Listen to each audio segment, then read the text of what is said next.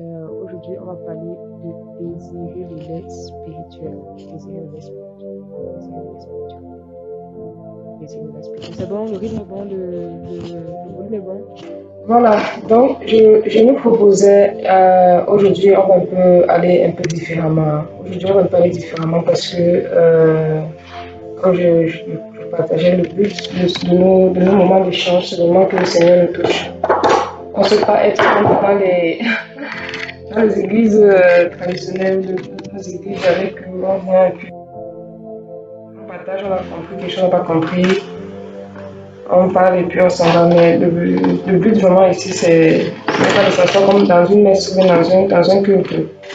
Et que après, au bout d'un certain moment donné, on ne voit pas, on ne voit pas sur terre pour être utile au Seigneur. Tout le monde est sur terre pour devenir utile au Seigneur. Et donc, si à un moment donné, on se rend compte qu'on n'est pas utile au Seigneur, c'est qu'il faut retourner voir le Seigneur pour dire Seigneur, à quoi est-ce que je sers sur la terre? Pourquoi est-ce que je suis sur la terre? Pourquoi est-ce que tu m'as créé? Qu'est-ce que tu attends de moi? Qu'est-ce que tu veux de moi? Ça, c'est quelque chose de, de fondamental que on tue le temps de passer. Et très souvent, c'est pas que le Seigneur ne veut pas nous utiliser. Non, le Seigneur veut bien nous utiliser, mais le problème, c'est quoi? Le problème, c'est que notre euh, le, le, péché fatigue encore, le péché nous fatigue encore. C'est ça le problème. La distraction, les, la vie de la chair fatigue encore. Donc, euh, je veux vraiment nous proposer cette, ça, aujourd'hui, cette vision aujourd'hui, de nous dire, il faut vraiment que, euh, au bout d'un certain moment donné, on voit quand même qu'il y a eu un, un, un, changement dans nos vies, que vraiment chacun a développé un nouveau zèle dans la recherche du Seigneur, un nouveau, désir du Seigneur une nouvelle envie du Seigneur.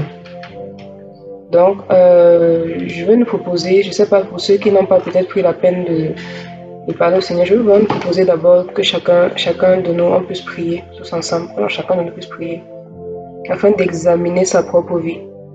C'est d'abord ça le but, afin d'examiner sa propre vie. Parce que, euh, comme on avait vu, on avait vu la lettre Ret, qui était une lettre fermée, qui voulait dire nulle barrière. Si personne ne s'ouvre, si quelqu'un ne s'ouvre pas au Seigneur, que dit Seigneur, j'accepte ta parole telle qu'elle est, ça va servir à rien. On aura beau se retrouver comme ça. Pendant un an, dix ans, les vies ne seront pas changées. Et la parole qu'on aura entendue, Satan aura, aura toujours tout apprendre. Mais ce qui empêche au Seigneur d'agir dans une vie, c'est le péché. Et c'est parfois, parfois subtil. Ce n'est pas forcément que non, euh, fornication, masturbation. Mais le fait de ne pas se conformer à la parole, ça aussi c'est le péché. De savoir que la Bible dit ça et de ne pas se conformer, ça aussi c'est le péché. Donc si vous permettez, j'aimerais inviter chaque personne à parler, à parler au Seigneur. Amen. Que chacun rentre dans sa propre vie maintenant et regarde s'il y a un péché qui n'a pas confessé, s'il y a un péché qui le fatigue et qui veut bien délaisser. Je veux nous inviter à prier. Elle veut dire dans Matthieu 8, 1 à, 1, 1 à, 8 qu'un lépreux s'est approché de Jésus pour dire guéris-moi. Et, le Père de Seigneur, si tu veux que je sois pur, je le serai. Le Seigneur dit je le veux, sois pur. Et à l'instant, il était guéri. À l'instant, il était guéri. Donc, ce que je veux nous inviter à faire, pendant que je, je, parle, prions, prions que chacun vraiment s'humilier devant le Seigneur. Et que chacun pleure la grâce du Seigneur. Implore sa miséricorde. On a besoin d'entendre la voix du Seigneur, on a besoin que le Seigneur nous parle, on a besoin d'être utile entre nous. Seigneur, on a besoin de vivre le Seigneur. De ne pas avoir une vie chrétienne où on se, on se, contacte, on se contente de juste écouter des partages. Et ça nous fait du bien, mais ça n'a pas, ça ne produit pas une vie en nous. D'accord. Et aussi, rapport aux femmes, est-ce que les femmes qui sont mariées, est-ce que toi, toi ton cœur est pur avec ton mari? Si ce n'est pas le cas, il faut, il faut régler ça maintenant. Tu demandes pardon Seigneur maintenant. Parce que ça, ça va t'empêcher de, ça va empêcher la parole de se déposer dans ton cœur. Donc, prions que chaque personne examine son cœur. Si, la, si une femme a des rancunes avec son mari, a des rancunes avec son mari, c'est le moment de demander pardon Seigneur. Parfois, ça peut être dû à des promesses qu'il a fait n'a pas tenu.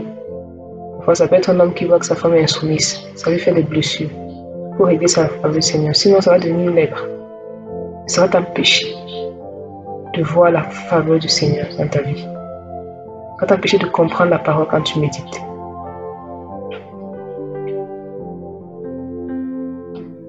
La Bible dit que ce sont ceux qui ont le cœur pur qui verront Dieu. Ce sont ceux qui ont le cœur pur. Ce sont ceux qui ont le cœur pur. Et ce soir, on veut voir Dieu.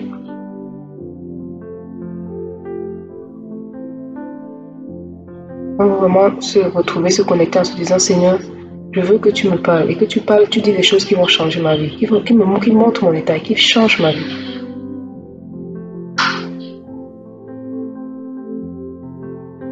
Ça peut être l'impolitesse. Tu parles une personne polie quand tu parles. C'est le moment de, confesser au Seigneur. Ça peut être le retard.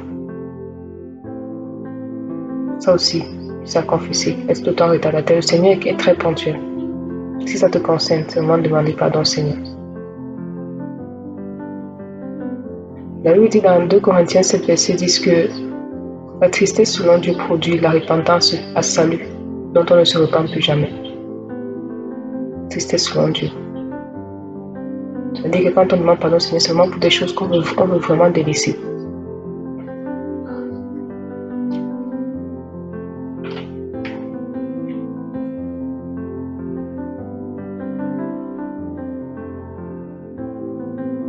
Je vais lever la voix. Et tu, pensant tu continues de prier, pour qu'il n'y ait rien qui fasse obstacle à la parole de Dieu dans ta vie. Pour qu'il n'y ait rien. Rien. Seigneur Père, nous nous avons besoin de toi. Nous avons besoin d'être embrasés par toi. Nous avons besoin que ton feu se dépose en nous et nous enflamme, nous consume. Consume en nous les œuvres qui ne sont pas de toi. Consume en nous la graisse qui empêche la rétention d'eau. Seigneur, nous voulons écouter la parole pour nous faire plaisir, pour nous convaincre qu'on est chrétien. Mais on veut écouter la parole afin qu'elle nous change, qu'elle produise la vie en nous. Seigneur, tu puissant Père, parle à chaque personne ici. Seigneur, tu connais la vie de chaque personne. Tu connais le cœur de chaque personne. Parle, Père, parle, parle au cœur de chacun qui est ici. Parle au cœur, Seigneur. Nous voulons que ta parole devienne une source d'eau en nous. Nous voulons être utiles entre tes mains. Quand les hommes fabriquent les choses, c'est pour qu'ils soient utiles. Quand, homme fabrique quand les hommes fabriquent la souris d'un ordinateur, c'est pour que la souris soit utile. La souris a un but. Quand ils fabriquent les papiers, les papiers ont un but. Et si les papiers existent parce qu'il a un but, et si le papier dit non, je ne veux pas qu'on écrive sur moi, je veux qu'on se serve pour laver le sol, s'il se rebelle au fabricant, le fabricant va le jeter à la poubelle. Seigneur, nous ne voulons pas être des rebelles Père, nous venons avec nos cœurs. Tu vois le cœur de chaque personne. Tu vois les blessures qui sont déposées. Les blessures qu'on n'arrive pas à pardonner. Seigneur, nous voulons aujourd'hui les confesser, les délaisser. Aujourd'hui, maintenant, Seigneur. Si tu le veux, tu peux nous rendre purs, Père. Si tu le veux, tu peux nous rendre purs, Père. Et nous savons que tu le veux parce que tu as dit au l'époux, je le veux. Je le veux, sois pur. Tu l'as déclaré pur. Seigneur puissant Père, nous voulons nous repentir de la repentance dont on ne se répand plus. C'est-à-dire qu'une repentance dont on délaisse réellement, dont on délaisse réellement, dont on délaisse vraiment, dont on délaisse vraiment, pas de repentance de on passe ça, on vient, on vient de pardon, on passe on vient de pardon, non. Mais si c'est la fornication, si c'est l'adultère, ce sont les pensées impures, si c'est la masturbation, que chaque confession soit faite avec sincérité, avec tristesse de cœur, en disant Seigneur, tu m'as tout donné, mais moi je prends mon corps pour t'offenser avec, je ne veux plus. Si c'est le mensonge, les petits, petits mensonges, ne nuisent pas grand homme, Seigneur, nous confessons salut des leçons. Si c'est l'impolitesse vis-à-vis de son mari, Père, nous confessons salut des leçons. Au nom de Jésus qui s'arrête. Nous ne voulons pas que ta parole trouve un obstacle, mais nous voulons être des canaux, des vases bien vides, bien nettoyés, prêts à recevoir ce que tu veux nous donner, prêts à recevoir ta vie. Des vases nouveaux, prêts à recevoir le vin nouveau. Béni sois-tu, Père nom de Jésus. Amen. Donc, ensuite, on va faire un petit exercice de avant de commencer de, continuer le partage. On va faire un petit exercice. Je vais demander à ceux qui peuvent d'avoir un stylo et un, un, crayon, un, stylo et une feuille. Ceux qui peuvent avoir. On va faire un petit exercice. On va laisser deux minutes à chacun de prendre un stylo et une feuille. Oh, juste c'est différent. Hein. On va vraiment laisser le Seigneur nous conduire. Parce que le Seigneur nous conduit comme il veut. Amen. Alors, on va poser, je vais poser des questions. Chacun va noter ses réponses. Hein.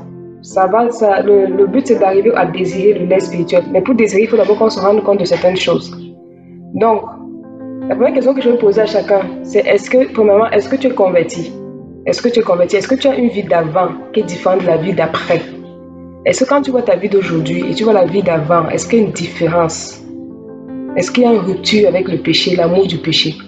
Ça, c'est la première, ça, c'est la première question. C'est la première réponse. Chacun, chacun notre pour lui. Est-ce que tu es est-ce que tu es converti? Donc, est-ce que tu as rencontré le Christ? Est-ce qu'aujourd'hui tu te sanctifies pour le Christ? Non pas pour toi, mais pour le Seigneur, pour lui être agréable. D'accord? De quoi est-ce que le Seigneur t'a délivré? Donc tu notes si tu sais que le Seigneur t'a délivré quelque chose. Maintenant, la deuxième question, c'est qu'est-ce que tu désires? Qu'est-ce que tu attends du Seigneur? Qu'est-ce que tu désires dans ta vie chrétienne? Qu'est-ce que tu veux? Quelle est, ton espérance? Tu veux quoi? Qu'est-ce que tu veux? Par exemple, ce soir, qu'est-ce que tu veux? Qu'est-ce que tu, veux ce soir? Ce soir, tu veux quoi? Dois tu connecter aux Zoom Qu'est-ce que ce soir tu veux?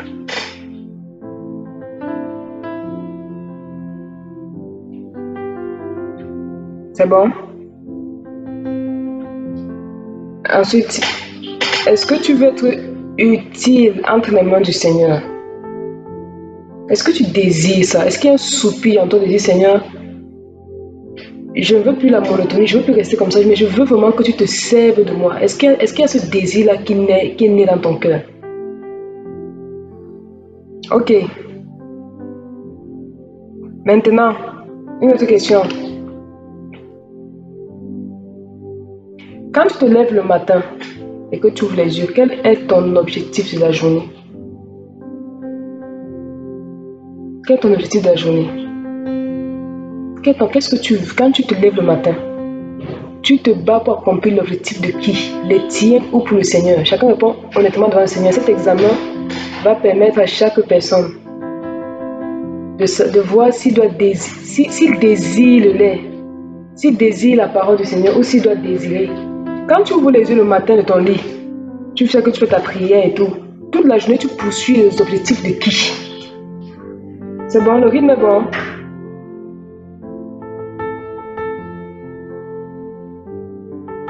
Donc, aujourd'hui par exemple, en quoi as-tu été utile entre les mains du Seigneur? En quoi as-tu été utile entre les mains du Seigneur? Ne serait-ce que pour intercéder. Ne serait-ce que pour intercéder. Encore, est-ce que tu été utile les mains du Seigneur Est-ce que je tu as porté certaines personnes en prière, certaines souffrances? Ok, on continue. Maintenant, je vais poser une question, je vais, poser une question parce que euh, similaire. Je vais vous demander, quand tu te le matin, tu as accompli des idées de qui? Maintenant, ce que je vais te demander, c'est pour qui est-ce que tu vis de manière générale, et aussi ta vie? C'est qui? C'est toi ou c'est le Seigneur?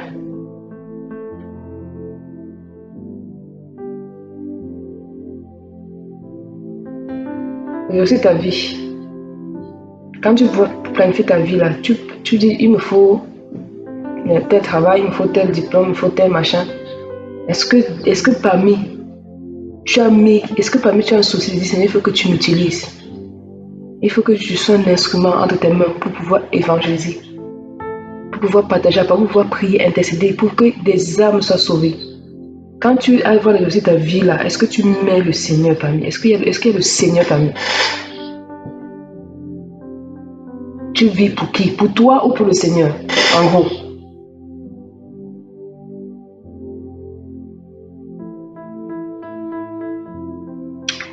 Dernière question. Combien de versets de la Bible connais-tu intégralement?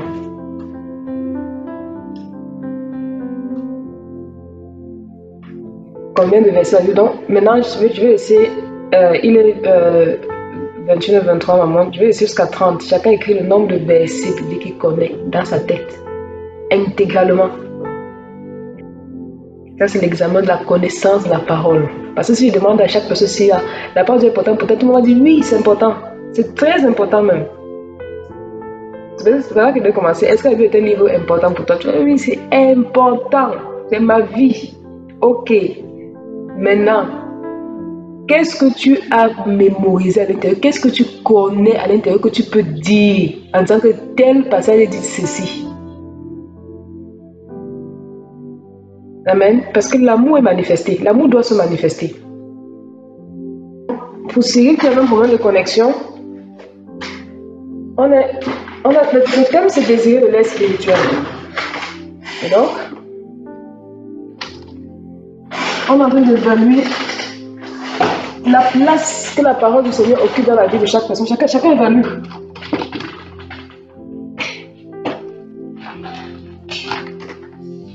Et donc, la dernière question, c'est que chacun écrive le verset biblique qu'il connaît de manière intégrale. Il manque 5 minutes. Quelqu'un a déjà fini, peut le signaler. Hein. Manière intégrale, avec référence. Même si c'est sans référence. Et que tu sais là que, que tu sais que c'est écrit comme ça. Hmm. J'espère que chacun a pu voir à travers ce, petit exercice si réellement la parole du Seigneur est importante pour lui. Parce qu'on peut encore un peu pousser en disant que chacun écrive les livres bibliques qu'il connaît. On dit, on prend juste on prend juste dans l'ancienne alliance, les livres bibliques qu'il connaît. Il y a combien de livres? Et lui qui connaît. Mais bon, on va s'arrêter là. Donc, si tu as remarqué que ta connaissance est pauvre, que tu es pauvre en connaissance, la parole que tu dis toi-même être si importante,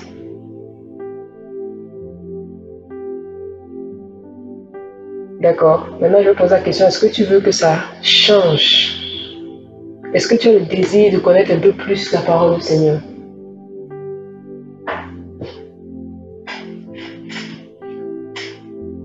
Est-ce que tu désires connaître un peu plus la parole du Seigneur? Est-ce que tu veux que ça change? Est-ce que tu veux que la connaissance de la parole du Seigneur augmente? Parce que si tu ne te rends pas compte que tu es pauvre à quelque chose, tu ne dois pas chercher. Tu ne pas chercher.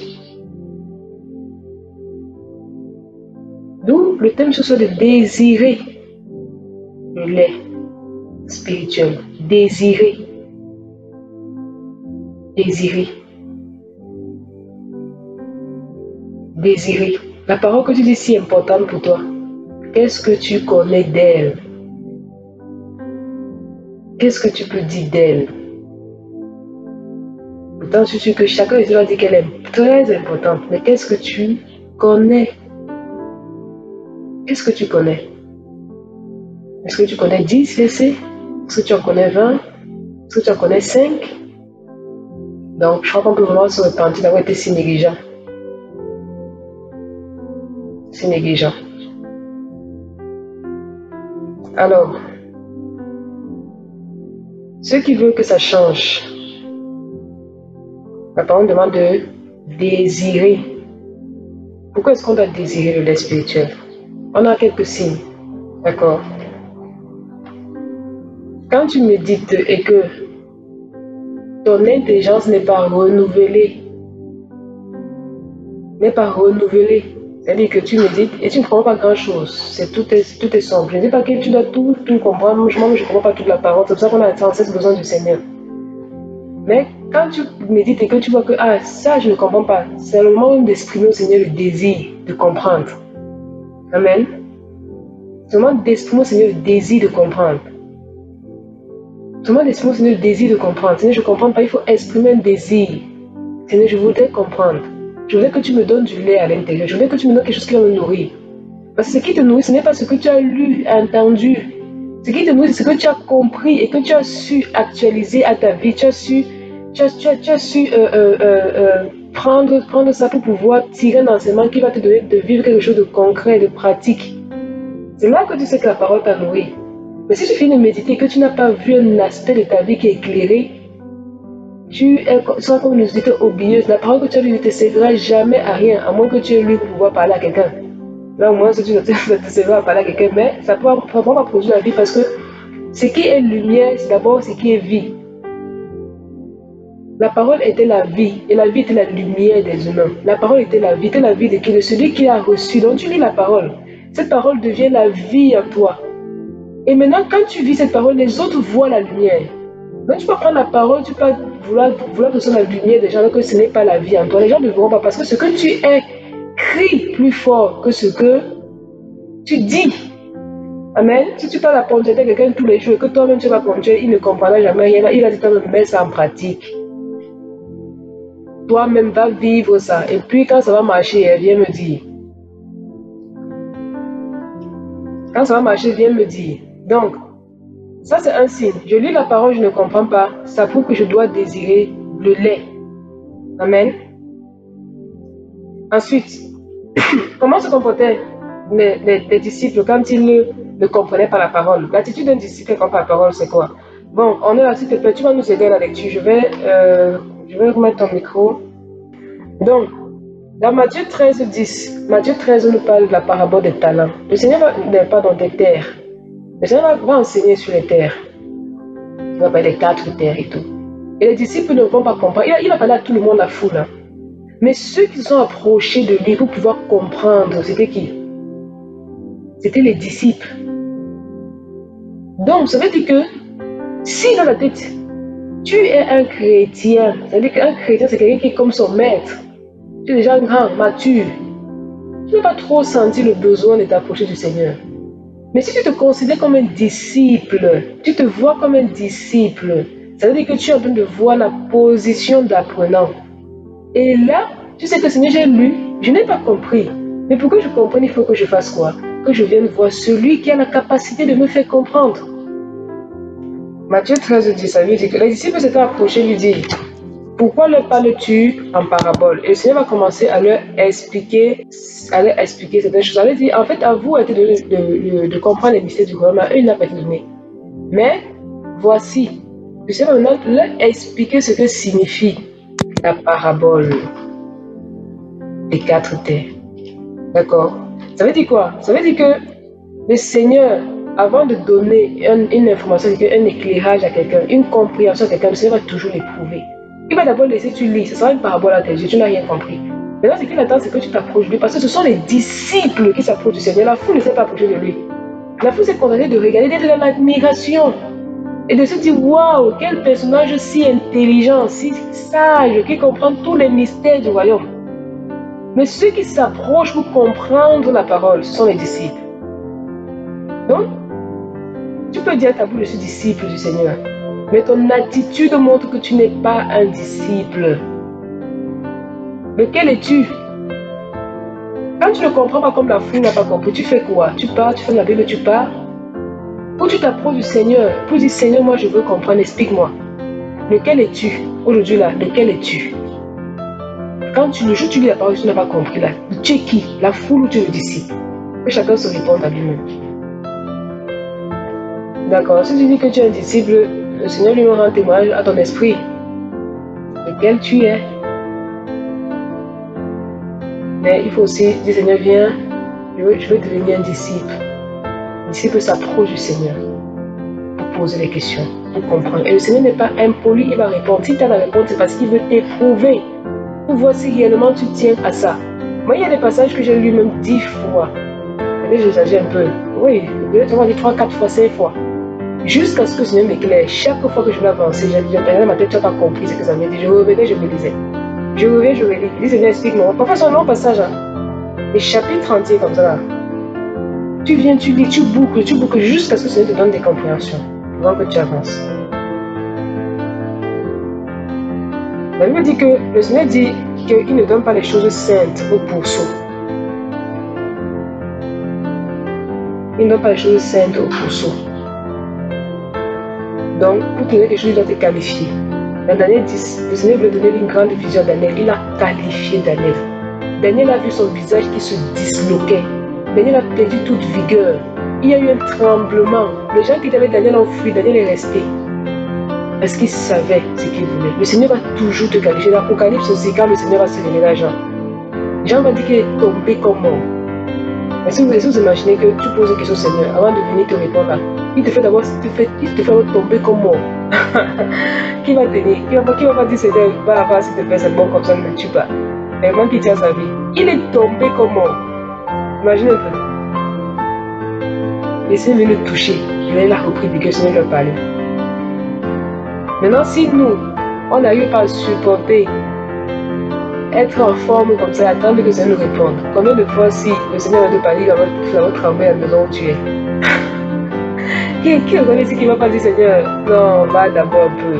Eh, il fait d'abord trembler, après il fait ton visage, tu sens les muscles de la face faciale là, se, te détendent dans tous les sens. Tu payes toutes tes forces, juste parce qu'il veut te parler. Est-ce que là, là, ici, là, il y a quelqu'un qui peut t'aimer? Ah, ça, ça. Hmm. Matthieu 7, 6. Ne donnez pas, et c'est un ordre que le Seigneur dit. Il dit ne donnez pas les choses saintes aux chiens, et ne jetez pas vos perles devant les pousseaux, de peur qu'ils ne les foulent le pied et ne se retournent et ne vous déchirent. Donc, lui, le Seigneur, puisqu'il donne ça comme ordre, lui-même aussi ne peut pas aller à l'encontre de sa volonté et de sa parole. Donc, celui qui veut le lait spirituel, sache que il faut qu'il éprouve un désir. Il faut qu'il qu dans son cœur un désir un désir. Sinon, on aura pour parler de lait, bon, ceci, cela, et tout ça, ça, l'eau, et tout ça, les glucides, les lipides et tout. Mais si tu ne désires pas, tu n'auras pas. Mais tu vas savoir que quelque chose t'empêche de désirer, c'est le fait que quand tu ne comprends pas, tu fais la parole. Et tu, parce que tu es de la foule et non pas un disciple. Parce qu'un disciple doit avoir le maître pour demander. Donc aujourd'hui, si deviens un disciple. Amen. Alors, quand ils ont demandé, ils ont posé la question au Seigneur, regarde ce que le Seigneur a dit. Le Seigneur a dit, il pose la question au Seigneur dans Matthieu 10, 13. Matthieu 13, 10, je. Et dans Matthieu 13, 10, le Seigneur Bible dit comme, le Seigneur dit, vous donc écoutez ce que signifie la parole du Seigneur, la parabole du Seigneur. Le Seigneur dit, écoutez. Écoutez, ça veut dire quoi? Être doté de la faculté d'attendre. Amen. Assimiler, comprenez.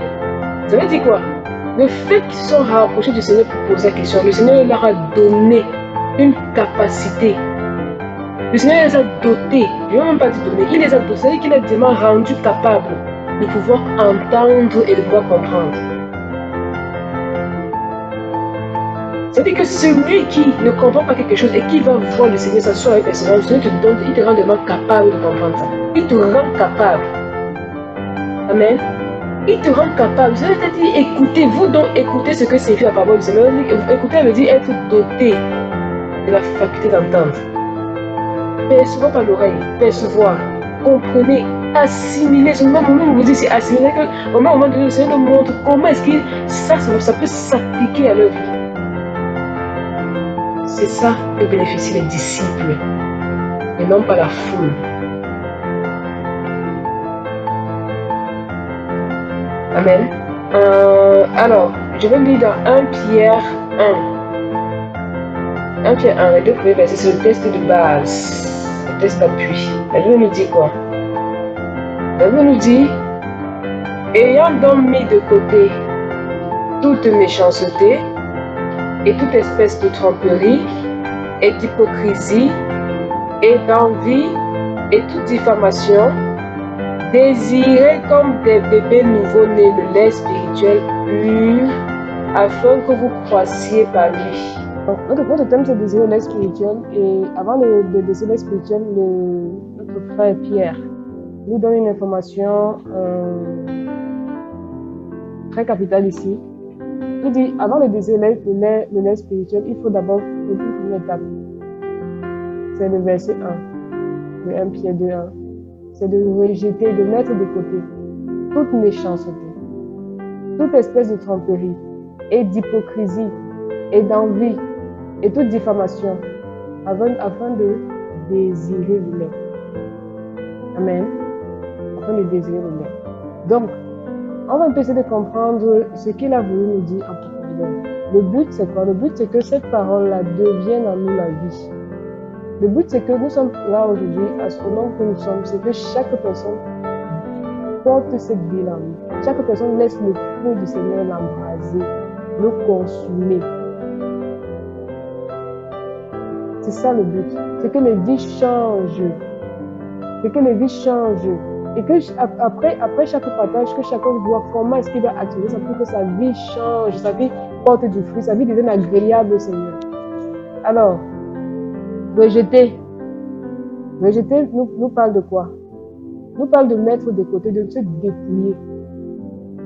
Et c'est important de comprendre ça parce que si toi-même tu ne décides pas de mettre le péché de côté de ta vie, le Seigneur ne viendra pas le faire pour toi. Il y a ce que le Seigneur fait, il y a ce que toi tu vas faire.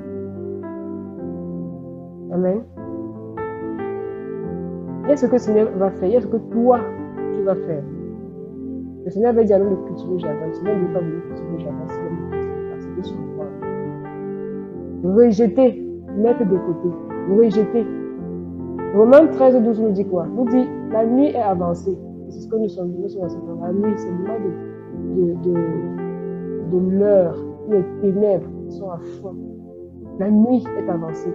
Et le jour, c'est le jour du Seigneur, c'est le jour c'est l'avènement. Et le jour approche. Dépouillons-nous, c'est le même mot. Apothémie, c'est le même mot. Des œuvres de ténèbres et revêtons-nous de quoi? Des armes de la lumière. Dépouillons-nous. Et chacun qui doit se dépouiller. Amen. Donc, chacun doit lui-même se juger. La Bible dit que si quelqu'un se juge, lui-même ne sera pas jugé. Si toi-même tu t'assois, tu commences, et, c'est valable pour, tout le monde, que ce soit mon boulot. Hein. Si tu t'assois et que tu te dis, je regarde dans ma vie pour voir ce qui ne va pas, personne ne viendra te juger. Si tu es au boulot et que tu te dis, qu'est-ce qui ne va pas, qu'est-ce qui ne va pas dans mon comportement? Est-ce que je suis à l'heure Est-ce que je fais bien mon travail? Personne ne, sera, ne viendra, te trouver une reproche. Mais si toi, tu ne te, reproches pas toi-même, tu ne te remets pas en question, les gens viennent te juger. Donc, la Bible nous demande de nous juger nous-mêmes afin qu'on ne soit pas jugé. Et c'est pareil aussi dans la marche chrétienne. Seigneur, je m'assois. Est-ce que je suis conforme à toi? C'était par exemple le but de l'exercice qu'on a fait tout à l'heure. C'est que chacun veut voir est-ce que sa vie est conforme. Au mieux, tu te rends compte plutôt, tu, tu, tu, tu revois tes, tes, voix et comme ça, à la fin, tu ne seras pas surpris. Tu entres peut-être au tribunal où, où le Seigneur attribue les couronnes et non pas là où les gens sont jugés par, pour, pour savoir, pour, pour être jetés dans le. Pour que les œuvres eux-mêmes rendent témoignage à eux-mêmes leur conscience qu'ils méritent les femmes. Rejetant toute malice. La malice nous parle de quoi? Ça vient d'un mot qu'on appelle Kakiva, qui parle de la méchanceté. De la méchanceté. Et si je lui pose la question, je, suis, je, je prends n'importe qui, si je lui demande, est-ce que tu es méchant? Chacun me dira non, je suis très sûr. Et c'est pas qu'il ment, hein, c'est qu'il est convaincu qu'il n'est pas méchant. Parce qu'on a toujours vu méchanceté comme des gens qui tuent, comme des sorciers, vraiment l'homme méchant. Quand je demande méchant, c'est que. Euh, c'est vraiment quelqu'un qui, qui, est cruel, quoi, qui n'a pas de cœur. Allons un peu plus en profondeur pour comprendre ce que la Bible nous appelle méchanceté. Le mot kakiva vient de kakos. Kakos qui veut dire quoi? Kakos qui nous parle d'un mot de pensée mauvais, un sentiment mauvais, mal, faux, méchant. Nous parle d'injurieux. Amen? Injurieux. Donc, la méchanceté a pour racine les injures. Donc, la méchanceté commence aussi par les injures. Et injurier, quelqu'un, c'est quoi? C'est une, des propos diffamants, déshonorants contre un homme, une femme ou un ensemble d'individus.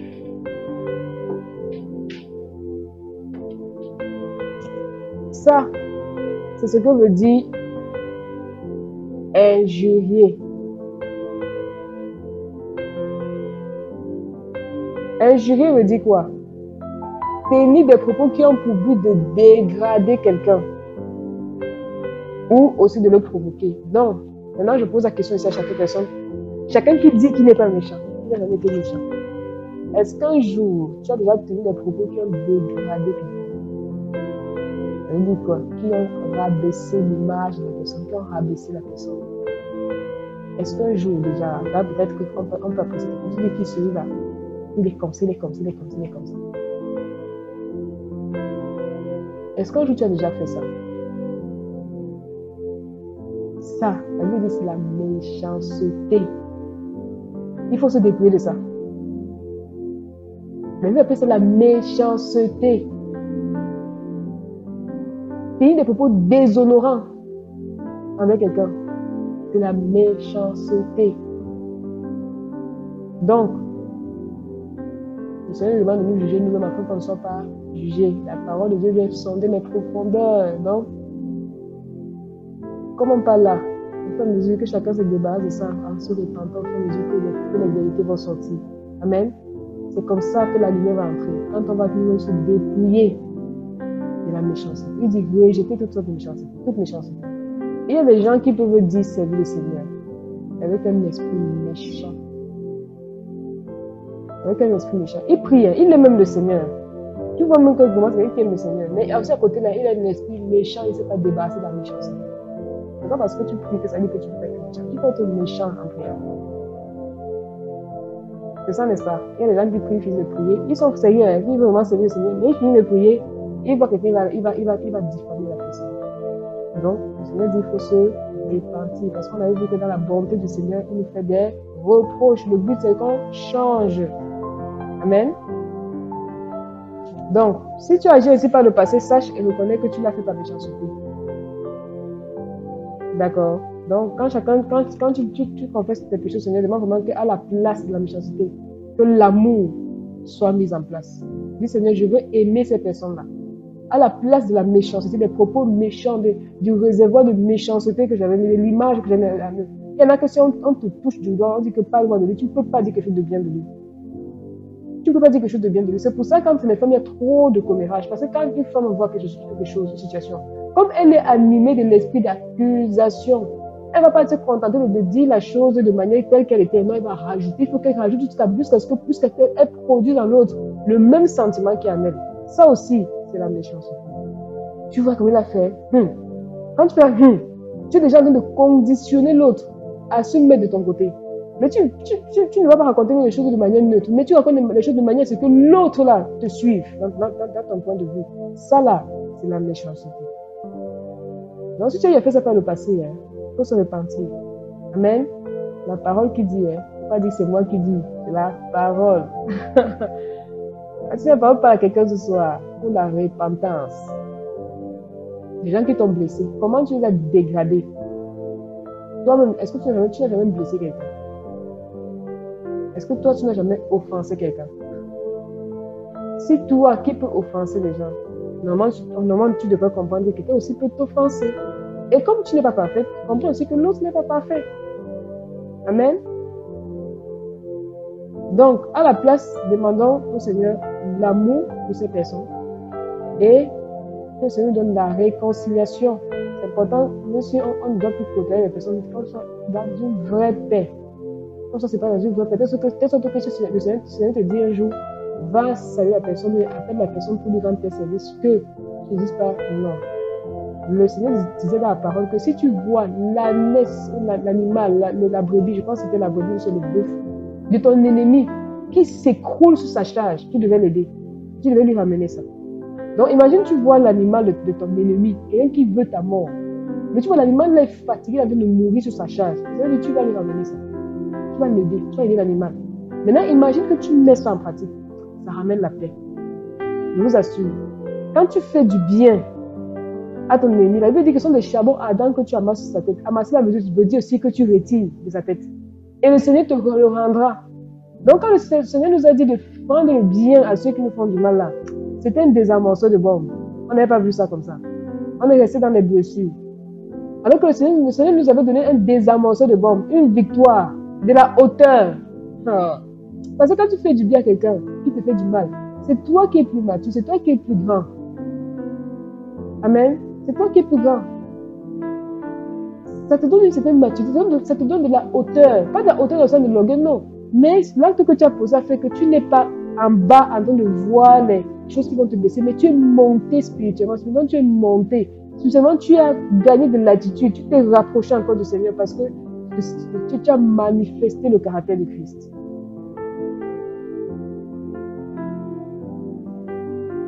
La vie de sanctification nous élève, la vie de péché nous rabaisse. Il y a des gens que parfois certaines personnes classées dans leur cœur. Ça là, pour aider ça le Seigneur.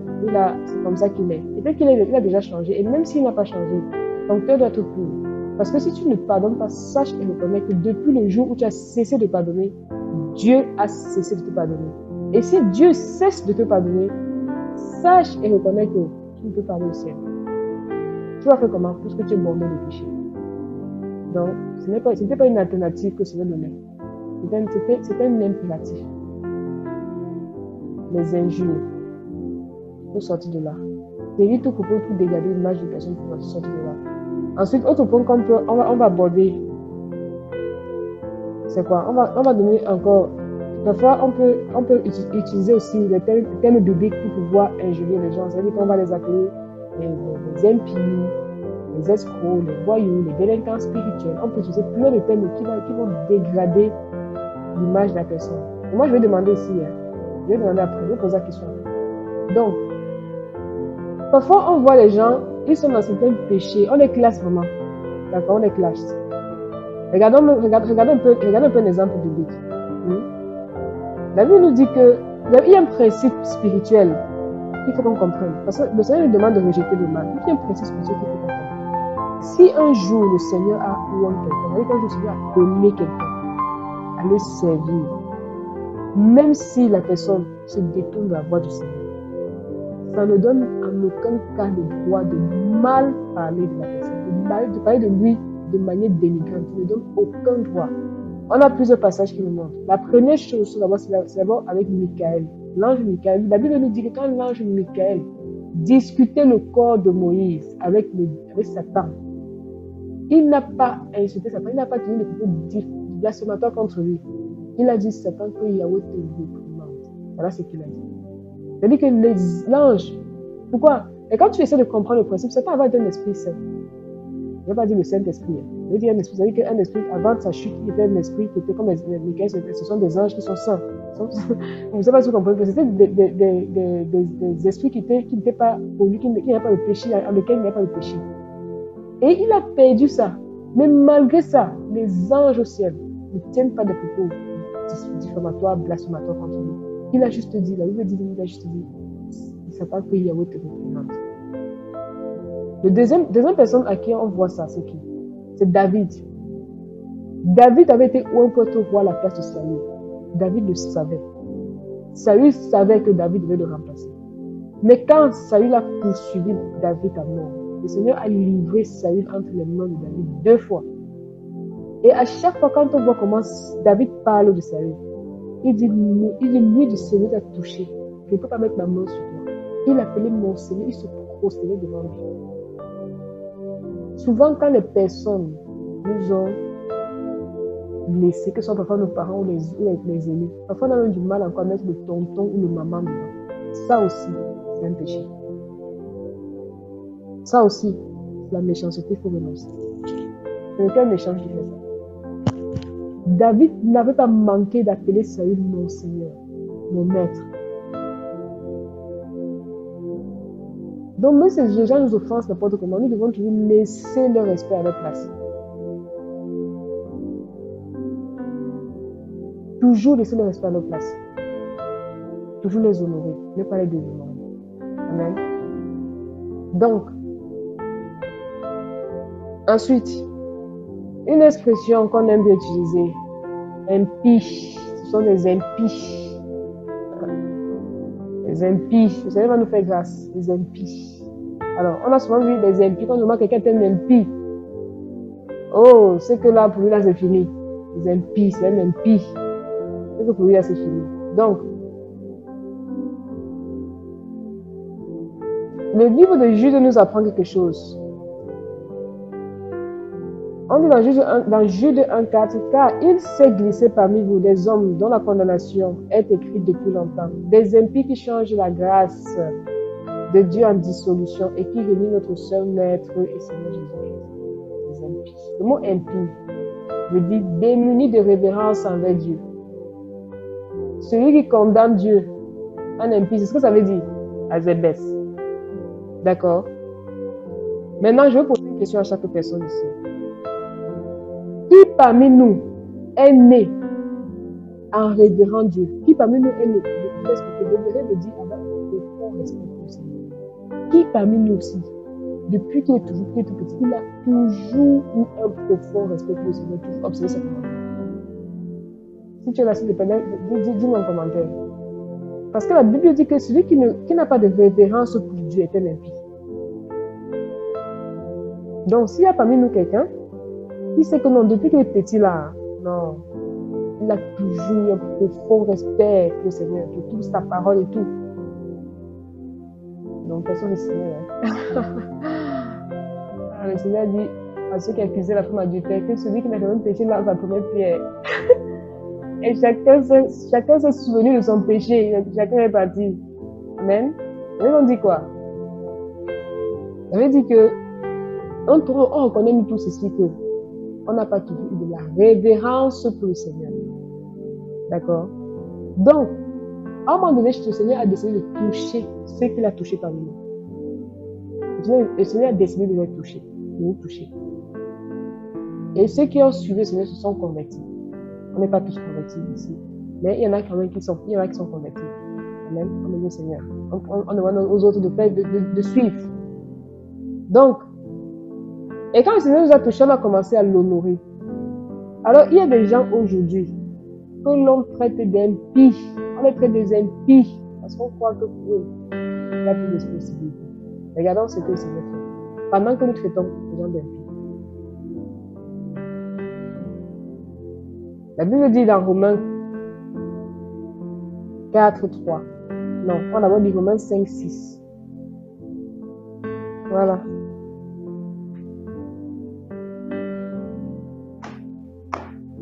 Bible dit que lorsque nous étions encore sans force, autant marqué, Christ a fait quoi? Qui s'est mort pour les impies Pour les impies, là, c'est qui? C'est nous avec. Amen? Hmm. On va rejeter la méchanceté aujourd'hui. Ensuite, regardons, regardons, regardons encore ce verset qui est très fort. Ça, c'est Romains 4, 3. Elle veut nous dire quoi Car que dit l'Écriture Abraham crut à Dieu et cela lui fut imputé à justice. Or, celui qui fait une œuvre, le salaire est, imputé comme une grâce. Non comme une grâce, mais comme une chose due. Et à celui qui ne fait plus mais qui croit en celui qui justifie qui. Il dit, l'impie. Sa foi lui est imputée à justice. Amen. Donc, parfois on regarde les gens comme étant des perdus. Vraiment des gens pour qui on ne sait pas si ce n'est pour faire quelque chose. Hum. Ça, c'est ce que l'homme dit. La Bible dit qu'alors que nous tous ici, on est des impies, des gens qui n'avaient aucune révérence, aucun respect pour le Seigneur, vivant la vie comme on peut vivre. Ça nous. Christ est venu de mort. Pourquoi il a fait ça. Pourquoi il a fait ça Est-ce la réponse Une réponse. Or, l'espérance ne trompe pas, parce que l'amour de Dieu est répandu dans notre cœur par le Saint-Esprit qui venu. Donc, donc, je vais lire Romains 5, de 1 à 5, rapidement. Alors, Romains 5. Étant donc justifiés sur la base de la foi, nous avons la paix avec Elohim par le moyen de notre Seigneur Jésus. Par le moyen duquel aussi nous avons eu accès par la foi à cette grâce dans laquelle nous demeurons et nous nous glorifions dans l'espérance de la gloire de Dieu. Non seulement, cela, mais nous nous glorifions même dans les tribulations, sachant que la tribulation produit la persévérance. La persévérance et la persévérance l'épreuve de l'espérance. Or, l'espérance ne rend pas honte parce que l'amour de nos vies est dans par l'Esprit Saint qui nous a été donné. Amen. Donc, quand l'amour est répandu dans ton cœur, par le Saint-Esprit qui t'est donné, tu fais quoi? Tu peux prier pour quelqu'un qui est égaré. Parce que l'espérance qui est en toi fait que tu crois que le Seigneur peut le sauver. La, la, la parole définit la foi comme étant la ferme assurance. La ferme assurance des choses qu'on espère. Ça veut dire que quand les choses que tu espères, quand ton espérance devient forte, C'est ça qu'on appelle la foi. Et ça fait qu'au lieu que tu traites les gens, tu regardes cela comme étant une égaré, tu regardes cela comme étant une égaré, puis c'est fini. Non, ça produit en toi l'espérance. Ça produit en toi la foi que la personne peut être sauvée. Que la personne va être sauvée.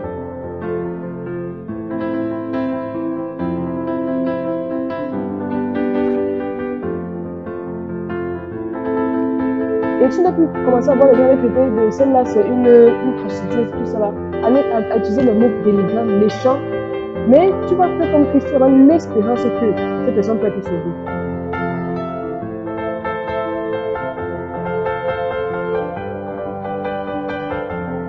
Et l'espérance, la foi et l'amour, on ne peut, pas les dissocier.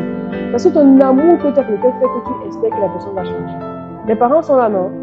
Quand ton enfant fait n'importe n'importe quel caractère, qu'est-ce que tu fais? À cause de l'amour que tu as pour lui, tu espères qu'il peut changer. Et quand tu espères, cette, cette, cette expérience est forte, ça produit en toi la foi.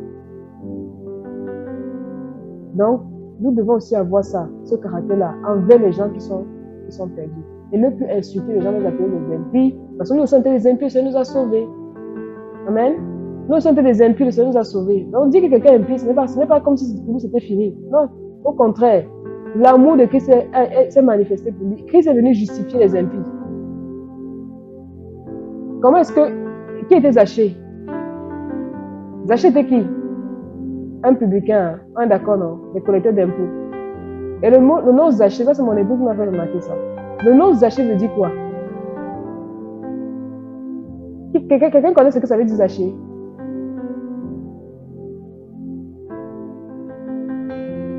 Ça veut dire pur. Hum. Pur. Pur. Pendant que le gars volait, ah, le Seigneur regardait, dit, là, il est pur. lui, là, je le justifie. Tout le monde sait que nos achats, quand le Seigneur est parti manger chez Zaché, on est parti chez un pécheur manger, le Seigneur regarde, il dit, lui, là, est pur. Zaché. Mais apprenons à regarder les gens comme le Seigneur les voit. Il y a des gens qui étaient des prostituées. Aujourd'hui, ce sont des femmes qui servent le Seigneur. Pendant que tout le monde les condamnait, le Seigneur a regardé. Il a dit, voilà ma fille. Voilà ma fille.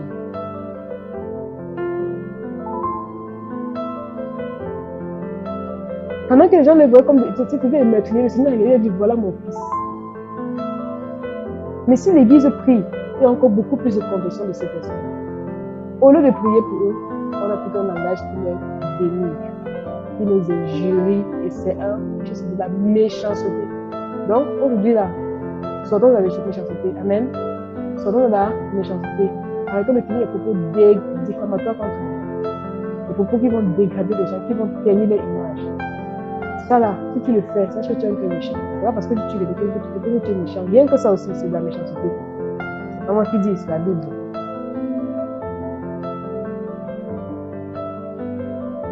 On a aussi le, même qu'avec Paul. Donc, on continue rapidement. La Bible nous demande de rejeter, de rejeter la méchanceté, d'accord? La dissimulation. Alors, le mot dissimulation, c'est hypocrisie, ce qui veut dire jouer le rôle, naturellement, c'est l'hypocrisie. Donc, ça, les hypocrites, le Seigneur interpelle tout le monde de d'abandonner l'hypocrisie, de de jouer les rôles. Je ne veux pas m'arrêter sur l'hypocrisie parce que c'est assez clair. Je vais m'arrêter sur un point euh, quand le personne part directement derrière. C'est une définition de mot qui veut dire il, il ne repique.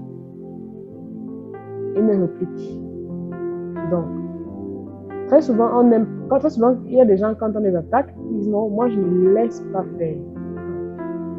Si tu as l'habitude de ne pas laisser faire, Sache qu'aujourd'hui, Dieu te dit, avant, pour que, pour que un désir naisse dans ton cœur pour la parole, il faut que tu le laisses faire.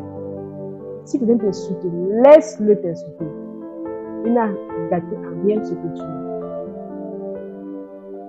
D'accord Si on prend un billet, on prend de 10 000 francs, on prend un papier, un format propre, si tu, entre les deux, qui a, plus la valeur Est-ce qu'on peut répondre rapidement sur le chat qui a, qui a, plus la valeur entre les deux? Un billet de 10 000 francs, un papier vierge. Maintenant, Si on froisse le papier, le, si on froisse le billet de 10 000, et le, format, on n'a pas froissé, qu'est-ce qui a plus de valeur?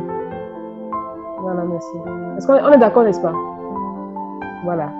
Donc, c'est pour nous dire simplement que si quelqu'un te parle mal, il t'a froissé, il n'a pas, pas fait perdre ta valeur. Amen. Il t'a froissé. Pour lui-même, il va se dire qu'il t'a froissé. Mais il ne t'a pas fait perdre ta valeur. Tu restes intact. Et l'agent de, bien, il ne se peine pas. Froisse, le gars sait que si tu veux faire des achats de 5 000, c'est lui que tu vas utiliser. Il ne se casse pas. Un jour, je m'appelle, j'avais eu déjà plusieurs jours de congé maladie, donc j'avais eu congé maladie. Après, je me sentais bien. Puis mon époux a dit que bon, pourquoi tu ne pas votre travail? Je suis dit, mon travail, c'était juste un jour avant que le congé maladie Et quand je suis arrivé au travail, il y avait, euh, tout le monde était choqué. Qu'est-ce que tu veux faire? Je moi, je me sens bien choqué travail. Il y a un qui m'a dit, tu es taré. et puis je l'ai regardé comme ça et je n'ai rien dit. Il y a une qui me dit, mais il te suit, tu dis, dit, ouais. Il n'a rien dit, il n'a rien dit. On a fait plus que ça à Jésus. Oui, parce qu'il croit qu'en disant ça, il devait, il devait me poisson. Non! On a fait plus que ça au maître. Si on a fait ce bois vert, et qu'est-ce qu'on fera le bois sec? Donc, si me dit, si tu n'as rien fait, Jésus, Jésus lui, on a mis la couronne de pine sur sa tête. Amen. Donc, si on, t'a seulement parlé, on t'a rien fait. Comme maître, on a arraché sa peau. Ah. Dissimulation, c'est bon. Les envies. Attaquons les envies. La parole nous demande de rejeter les envies. Les envies. Hmm? Qui pousse à la jalousie? Les envies poussent à la jalousie. La jalousie. Et Ecclésiaste dit quelque chose de fort dans Ecclésiaste 4, 4. Il dit, j'ai vu que tout travail et toute, habileté dans le travail n'est que jalousie de l'homme à l'égard de, son prochain. Et c'est là encore une vanité pour tout le monde. Donc regardé, il a vu que il y a des gens qui travaillent là. En fait, ce n'est pas qu'il est zélé. Hein. Le problème, c'est qu'il est jaloux. Il veut que son résultat dépasse l'autre. Et en ça, on nous a immergé, baptisé avec la jalousie dans notre système éducatif euh, euh, euh, africain. Parce que, à l'école, quand on remet des copies d'abord, on fait d'abord connaître, connaître, la note de tout le monde à tout le monde. Donc, du coup, celui qui a toujours la première note, du coup, il sait qu'il est le plus intelligent en classe. Ça suscite quoi chez les autres? L'envie. Et, plus grave encore, c'est quoi? C'est que si on fait des examens, si on, on, on, compose. Et que tu as la première note qui est même 12, pourquoi c'est bon? Pourquoi? Parce que tu as la première note.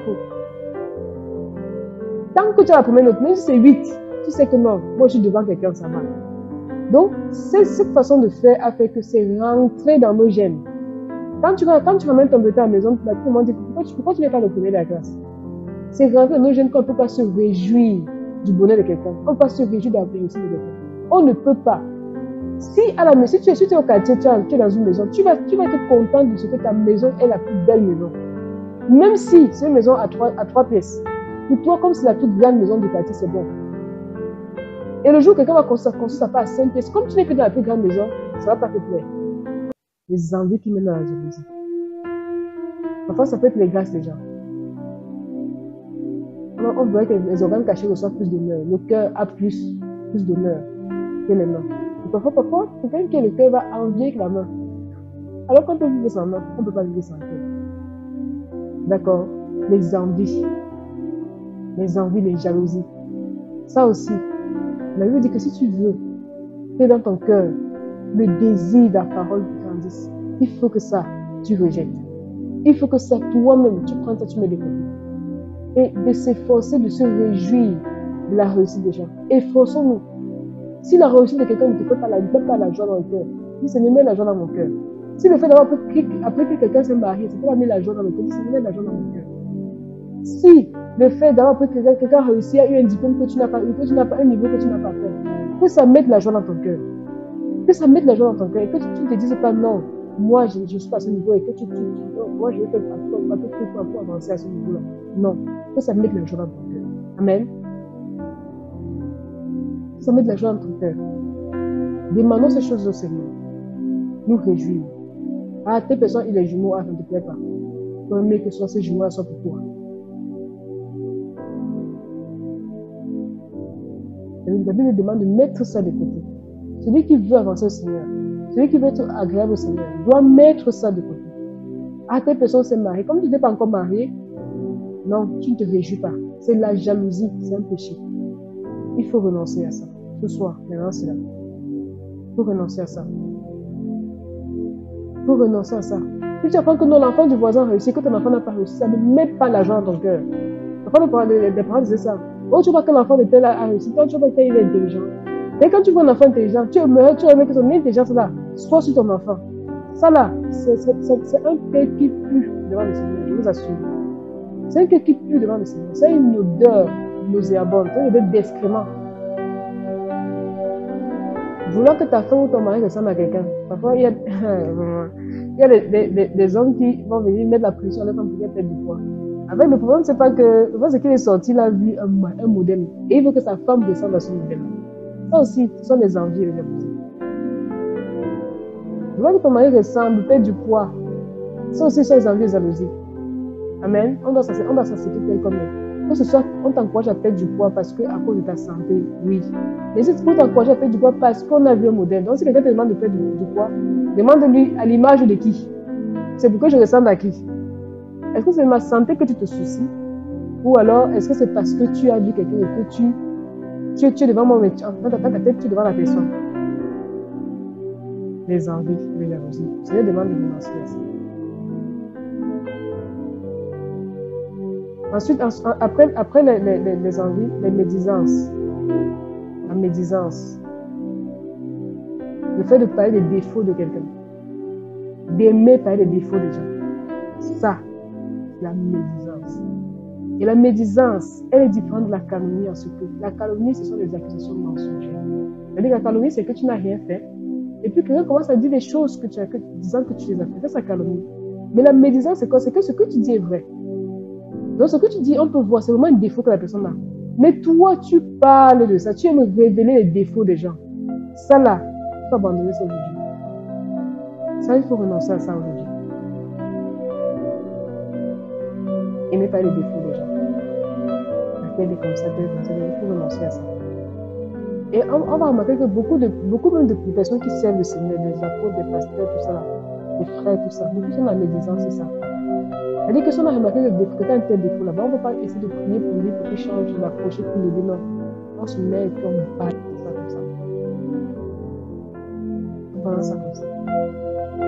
On prend les gens, on dénonce, on dénonce, Beaucoup de personnes servent le Seigneur avec ça.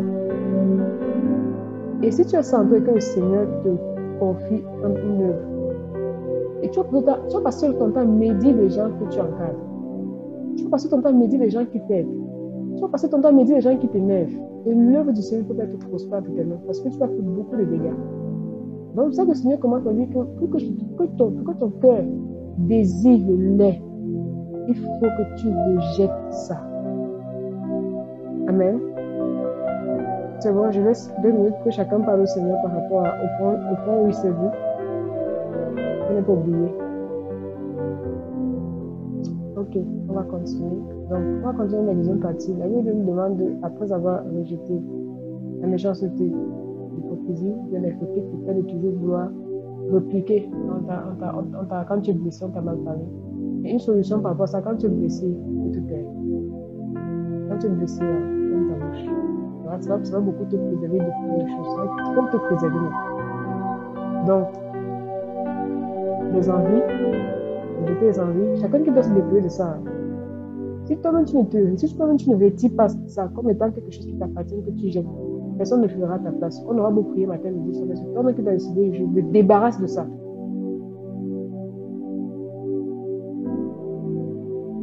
Les calomnies, les médisances. Alors, la Bible nous dit maintenant qu'une fois que tu as, tu t'es débarrassé de ça, Maintenant, tu as laissé la place à quoi? Au fait de désirer comme des enfants nouveau-nés. C'est-à-dire que ceux qui sont dans la matrice, ceux qui sont sortis de la matrice nourrissons le lait spirituel pur pour pouvoir grandir.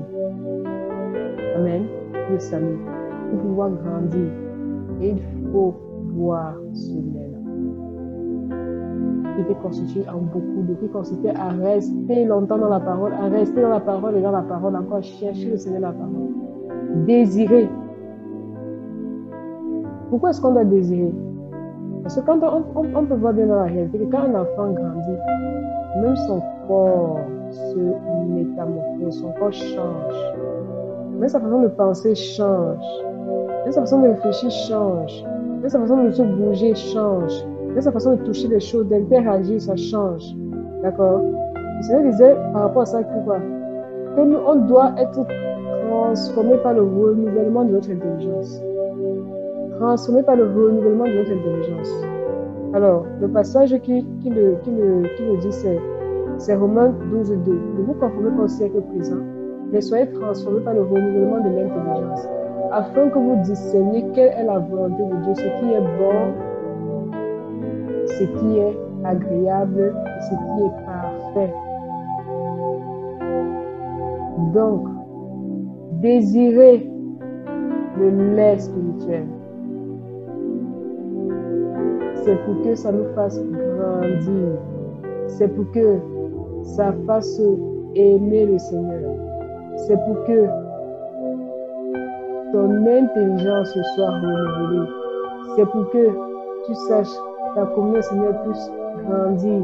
C'est pour que comprendre, entendre Seigneur comprendre ce qu'il te dit puisse grandir. C'est pour que ta vie, ta paix soit maintenue, soit sans cesse grandissante. C'est pour que ta joie soit sans cesse grandissante. C'est pour que le fait de communiquer la paix aux autres soit grandissant. C'est pour que le fait de grandir dans la maîtrise soit sans cesse grandissant. C'est pour que la bonté, la douceur, la bénignité, la tendresse, toutes ces choses abondent. Amen. C'est pour ça qu'on va grandir. Grandir veut dire grandir dans toutes ces choses-là. Hier, tu ne savais pas que injurier, c'est la méchanceté. Aujourd'hui, tu sais, tu sais, je me débarrasse. À la place, mais l'amour. Mais crois-toi dans l'amour, comme on a dit, avec le cœur, le cœur. Vous êtes dans un cœur qui est capable de l'aimer. Mais pour que ce cœur fonctionne bien, il fallait quoi? Il fallait beaucoup de paroles. Il fallait la parole, il fallait rentrer en contact avec la parole. Il faut rentrer en contact avec la parole. Tu ne peux pas dire que tu ne pas aimer le Seigneur loin de sa parole. Ce n'est pas possible. Amen. Ce n'est pas possible. Alors, je ne sais pas si on peut, peut nous aider avec ce verset si c'est trop fort. Euh, 2 Corinthiens 3, verset 18. C'est bon? Oui, c'est bon. Moi, je t'entends. Mais nous tous qui, à face découverte, contemplons comme dans un miroir la gloire du Seigneur, sommes transformés en la même image, de gloire en gloire, comme par le Seigneur, l'Esprit. Amen. Donc, la Bible nous dit quelque chose, quelque chose de très fondamental ici. Si tu contemples le Seigneur, Amen. Tu es transformé. Nous sommes transformés en la même image de gloire en gloire par le Seigneur. Nous tous qui faisons partie contemplons le Seigneur. Donc, celui qui veut voir les aspects de sa vie changer, celle qui veut voir un caractère de douceur se manifester, qu'elle soit capable de respecter son enfant, de respecter ses enfants et bien éduquer ses enfants. Celle qui veut voir à la maison son caractère changer, le Seigneur dit contemple-moi. Contemple-moi. Et quand tu es ma tête, je vais te contempler. Quand tu regardes à l'œuvre de la croix, c'est un le pardon. Amen. Pendant que ce n'était dans le feu de la douleur, pendant que ce n'était péché sur la croix, c'est pendant ce moment qu'il a pardonné. Ce n'était pas après. C'est-à-dire que quand tu es énervé, quand ton mari t'a offensé, ce n'est pas après que tu demandes au Seigneur de te pardonner. De, c'est pas après que tu demandes au Seigneur, euh, que tu dis au Seigneur que tu vas lui pardonner. C'est pendant, c'est pendant qu'il a envie de parler que ça te C'est là, là. Pendant que les paroles ne sont pas encore finies, que les paroles continuent de sortir, de sortir sa bouche, c'est à ce moment que tu vas lui parler. Si tu contemples le Seigneur, il te met ses chapeaux Si tu contemples le Seigneur, il te donne la maîtrise de soi pendant le feu de l'épreuve. Si tu le contemples, il fait ça. Le Seigneur a changé l'eau en vin. C'est-à-dire que je ne peux changer toute nature. Moi, je me crois. Je le crois avec fermeté. Je crois que ce ne peut changer la nature de n'importe qui. Je le crois, je vous assure. Il n'y a pas un seul caractère que ce n'est pas changé. Il n'y a pas un seul caractère qui peut changer. Oh, et avec ça, on ne va pas dire, ah, moi je suis né toujours en parlant, toujours en train de discuter bagarreuse. C'est comme ça, c'est comme ça que c'est dans, dans nos familles. Dans notre famille, les femmes bagarrent. Moi je suis né comme ça. Non. Quand tu contemples le Seigneur, il te donne une nouvelle nature. Quand tu contemples le Seigneur, il façonne ton caractère. Il te donne une nouvelle nature. Amen. La bouche qui savait tout le temps insulter là, ça devient désormais une bouche qui bénit. Parce que tu contemples le Seigneur. Le Seigneur te dit non, les paroles que tu sors là, ce n'est pas de moi. Comme tu, tu viens, tu ouvres ton cœur au Seigneur, tu dis Seigneur, retire, retire de moi ce qui ne retire, retire de moi ce qui n'était pas agréable. Retire. Et le Seigneur vient et. Le Seigneur vient et retire. Aujourd'hui, pour ceux qui veulent être transformés, pour ceux qui veulent que le désir de la parole du Seigneur sans soit grandissant le Seigneur dit contemple-le. Contemple-le. Regarde la l'œuvre de la croix, regarde l'amour du Seigneur, tu seras aimé. Tu ne vas plus rejeter les gens. Même si quelqu'un est ingrat avec toi, tu ne vas pas rejeter la personne. Le jour où la personne revient, tu vas l'accueillir. Il donne la force de l'aimer. Amen. Il donne la force de la maîtrise de soi. Si tu contemples le Seigneur. Désir. Maintenant, je vais poser une, une, une question. Est-ce qu'on peut désirer quelque chose dans lequel on ne prend pas plaisir? Non. D'accord. Est-ce qu'on peut désirer quelque chose dans lequel on ne prend pas plaisir?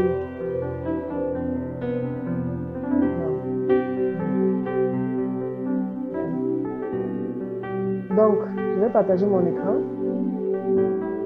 Ok. Donc, regardons.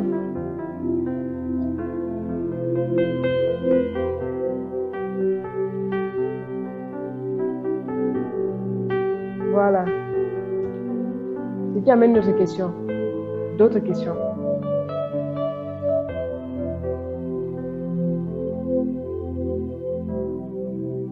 Comment donc est-ce que chacun pense ici? Qu'il peut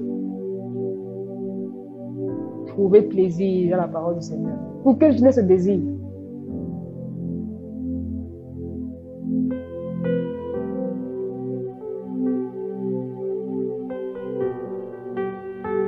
Ok. Allons-y un peu faire un peu d'anatomie. les choses naturelles nous apprennent les choses spirituelles.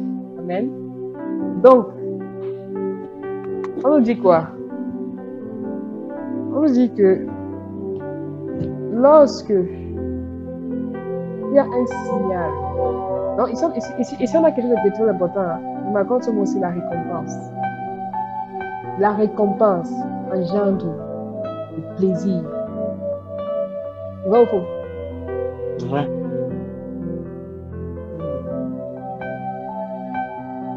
Récompense. Donc, quelqu'un qui prend pas plaisir à la parole du Seigneur, s'il te plaît, cherche la récompense.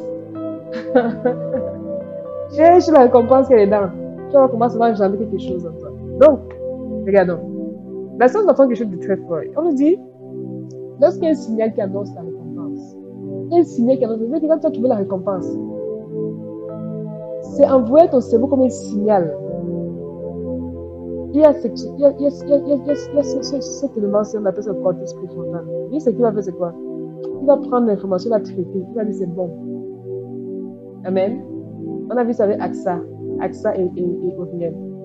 Caleb dit, ma fille AXA, je donne ma fille AXA à l'homme qui va renverser euh, euh, déjà, déjà à bas, déjà au début, je sais que c'est déjà avant qu'il Odile a regardé ça. Il a dit la récompense est bonne. Le cortex préfrontal a traité l'information. Il a regardé AXA physiquement. Non, il a d'abord regardé AXA l'os de ses os. Ensuite, il a regardé AXA physiquement. dit la récompense est bonne. Et comme la récompense est bonne, ça fait quoi? Ça, ça, payé, ça, ça, ça toutes sortes de choses en lui. Donc, on a notre contexte préfrontal qui va analyser l'information. Il va, il va du coup déclencher une motivation dans ses dons. Il planifie. Comment est-ce qu'il fait pour attaquer, pour faire l'attaque? D'accord Comment est-ce que je fais pour pouvoir m'organiser pour méditer ta parole plusieurs fois par jour Parce que tu prends la récompense. Tu sais ce qu'il y a derrière.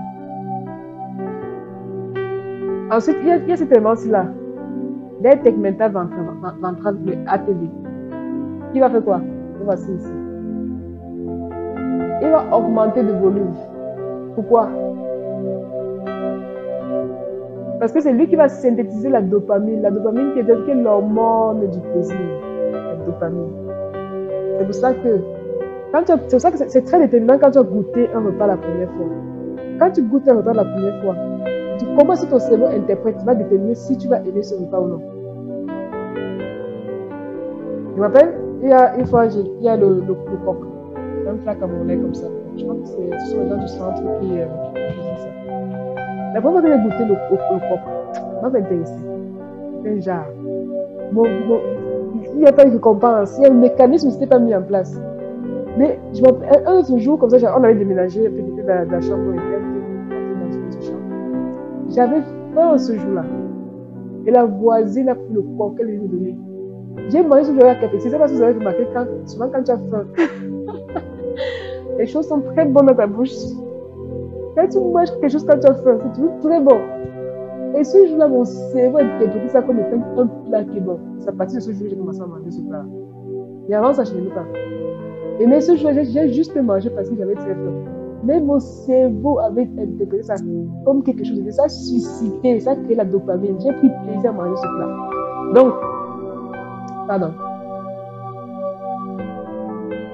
Alors, notre ATV va synthétiser la dopamine. Qu'est-ce qu'il va faire? Il va prendre cette dopamine il va libérer dans le noyau accueillant. C'est ça.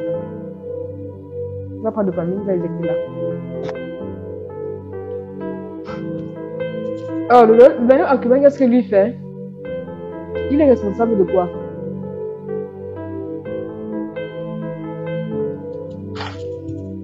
Il t'aide à focaliser l'attention. Quand on fait quelque chose qui nous ennuie, on n'est pas très concentré, on, a envie de manger, on a envie de... Il y a, plein d'envie qui passent à la tête. D'accord? D'avoir un mécanisme scientifique qui fait que on peut éprouver du plaisir. Ça passe, ça passe, ça commence par un signal de récompense. Ça va beaucoup nous aider. C'est important. Que quand, quand les disciples passaient par le feu de l'épreuve, ils disaient quoi? On était jugés dignes. Pourquoi? Parce que c'est que la récompense qu'ils attendent. La Bible dit tout bien compté. J'estime que les souffrances présentes ne sont rien comparées à la gloire de Dieu. Donc quand tu es dans le feu de l'épreuve et que tu compares à ce qui t'attend, tu dis non, les souffrances présentes là, ce n'est rien. Amen. C'est digeste? Est-ce que c'est digeste? Et si on parlait un peu de la récompense, parlons un peu de la récompense. Amen. Parlons de la récompense. Alors, la récompense. Hmm. Ah, ça, les, les, gens qui parlent, qui parlent du anglais là. Make amends to someone for loss or harm suffered or compensate. Hmm. Donc, on nous dit, ça veut dire, ça veut dire quoi? Ça veut dire amender quelqu'un de façon honorable. Par rapport à quoi? À des pertes ou des préjudices subis. Par rapport à quelque chose. On est d'accord, non? Amender veut dire rendre plus petit. Vous savez que quand on parle de la récompense, on te récompense après un effort, après les gens de service, après que tu es fourni, tu es si tu te sois euh, épuisé, tu as fait la volonté de Dieu par quelque chose, et puis cela t'a coûté aussi. Dans ton énergie, ta volonté et tout ça. En retour, il te donne quoi? Une récompense. Amen? En retour, tu obtiens une récompense. Si tu es pertes, tu as des préjudices, on t'a frappé pour le nom du Seigneur, ne dérange pas. Me dit que tu auras une récompense. Si on t'a insulté, on t'a fait des sectaires, tout cela, et que tu sais que non, tu es en intégrité, ça veut dire que tu auras une récompense pour les préjudices causés. Ne lui dérange pas, il a une récompense. Quand tu sais que ça, non. On continue. Alors, un mot biblique que j'ai trouvé sur récompense, c'est sakar. Sakar. On lit je ne dis pas d'ici à là, hein, comme on commence à lire d'ici là. Non, si ça c'était les mots, on devait lire, on devait lire comme ça, on devait dire voilà. Donc, notre première lettre parle du chine. Le chine, ça veut dire dent. D'accord? Pointe. La dent. Donc, quand on parle de récompense, alors, quand on dit chen tahat ça veut dire dent pour dent, chen Donc, quand on parle de là-dedans. Notre mot pour compenser, c'est compliqué, compliqué, c'est trois lettres ici. Ça, c'est le chine, ça, c'est le kaf, ça, c'est le resh. Donc, quand on parle de chine, on va avoir la souffrance. On va tu passer par le feu de l'épreuve. Tu passes par une difficulté, tu passes entre les dents, tu été broyé, tu passes par la porte étroite, de toi. Le Seigneur voit quelqu'un voit te broyer pour que de toi, de ce qu'il mange, ce sorte ce mange, pour que du fort sorte le doux. Amen. Et quand tu passais par ça, ça veut dire que quand on parle de recommande, on parle de l'épreuve aussi. C'est ça le chien. Tout le monde, ça parle de l'épreuve, la difficulté, la souffrance pour cacher quelque chose. Ensuite, le caf nous parle de la paume de la main qui se met sous forme de recevoir une bénédiction. Ça le caf. Le caf, c'est la paume de l'homme qui est prête à recevoir quelque chose. De qui Du rêche. Le c'était la tête. Comment ça s'appelle C'est Christ lui-même. Donc, la récompense, c'est que tu reçoives des choses du riche précédé d'un temps où tu as dû passer un peu à, à le passer à la difficulté. Ça veut dire quoi? Celui qui mais qui aime le Seigneur, Seigneur veut quand même méditer. Il va chercher une chose, il va à se laver. Tu juste freiner, c'est plus 15 20 minutes de méditation. Parfois, tu t'assois sur une chaise, pas rentrer à clôture, prendre la Bible et lire, et non, tu ne vas rien recevoir. Rentrer dans la vie, tu dors. Pour, pour, faire les choses bien, soit tu, soit tu médites, soit tu dors. Tu te mets au confort, tu te mets au chaud à côté, tu mets devant toi. Puis au matin, on est sorti du lit, tu t'assois bien, tu sais non, tu fini par dormir. Ouais, d'accord, non? As dit j'ai prié, mais toi tu sais que tu as dormi. Donc, celui qui, qui va faire s'asseoir comme ça là, sur une, chaise dure, il va recevoir du Seigneur des choses. Seigneur va récompenser son acte. Seigneur va récompenser son désir. Seigneur récompense son désir. Il récompense le désir. Seigneur va toujours récompenser, il va toujours honorer ça. Seigneur va toujours honorer. Si tu étais insulté, que tu as décidé de te taire, le Seigneur vient, il met encore une huile excellente sur ta tête. Amen. C'est Sakar. Parlons de quelques récompenses paix. Pour que ça augmente en nous le désir la parole. Alors, on a un mot traduit par récompense ici qui veut dire shalom, paix. Et shalom, shalom, shalom, shalom vient, vient après quoi? Shalom, est attribué au juste, à ceux qui ont marché comme le Seigneur voulait. Quand tu t'efforces dès le matin, comme on disait que quand tu te lèves le matin, tu veux plaire Si quand tu te lèves le matin, tu veux plaire au Seigneur, Shalom est avec toi. Shalom sera ta récompense, la paix. Celui qui méprise la parole se perd, mais celui qui craint le précepte est récompense. Shalom. Celui qui celui qui craint le précepte obtient la paix, je vous assure, même si dans ta maison, quand tu te lèves le matin, toi, femme, et que ton désir, c'est de la paix va suivre. La paix sera dans ta. La paix sera dans ta maison. Shalom, c'est une récompense que le Seigneur donne à ceux et à celles qui le suivent. Si on t'a insulté et que tu as décidé de te taire, la paix sera avec toi la paix. Or, vous savez que la paix est rare. Et tu, peux dire très rare je regardais encore euh, euh, euh, une information. Je voyais que c'était, je pense que au Japon, les Il y a quelqu'un qui est entré dans le train, qui a pris une photo, qui a commencé à. crois qu'il y a un, des, un blessé grave et 17 blessés. Et y a un incendie. Il fallait voir comment les gens sortaient, se sauvaient. Pourquoi la terre. Celui qui est venu piquer n'a pas la terre. Il a crié chez la famille. Donc c'est pour dire que tout le monde cherche un, endroit reposant. Un moment reposant. Personne n'aime passer par le feu, même passer par le feu. Le malheur poursuit ceux qui pêchent, mais le bonheur récompense les justes. Le bonheur est la récompense.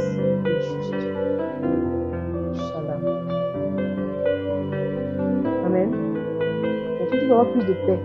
Et vous voyez que les gens qui, prennent vraiment le Seigneur sont en paix même quand ils approchent la mort. Il dit comme que j'ai achevé, la couronne, la couronne m'est réservée. Il dit comme que je suis pressé des deux côtés. J'ai envie, de, moi je veux partir. Mais je dois encore rester ici là parce que j'ai encore des choses à faire. Mais comme je reste là, je, sais, je veux vite faire parce que moi je veux partir. Parce que ce là Non. Le Seigneur ne te pas plus faire. Il y a la pollution. Juste ta main ici, ta main là-bas. Tu dois gérer, euh, genre les cratères là-bas, c'est cool, c'est la paix. Quand, quand vous repassez ça son esprit, il dit non, je peux faire. Faut continuer. Une autre, une autre, une autre récompense, c'est Gamal. Gamal, c'est quoi? Gamal, c'est la récompense qui est à ceux qui grandissent spirituellement.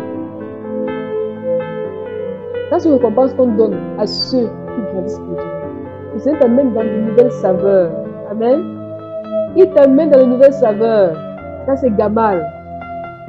La Bible dit quoi dans Genèse 21 L'enfant grandit fut sévé. Et Abraham fut un grand pasteur. Le jour Isaac fut. Il ne prenait que le lait qu'on demande de, de, de, là. Il devait être amené à une étape de la marche, une étape d'expérimentation de, Dieu, une étape de vivre le Seigneur. Qui, parmi nous, Seigneur, peut voir un homme de Dieu ou un qui a des paroles de connaissance, des paroles de qui fait du bien, qui prie les qui peut canceller les. Qui n'aime pas voir ça? Qui, si nous, n'aime pas voir ça? À ceux qui marchent, qui parlent de la nature, qui gardent dans la foi, il y a une autre récompense. L'éternel m'a traité selon ma droiture. Il m'a rendu sur la qualité de ce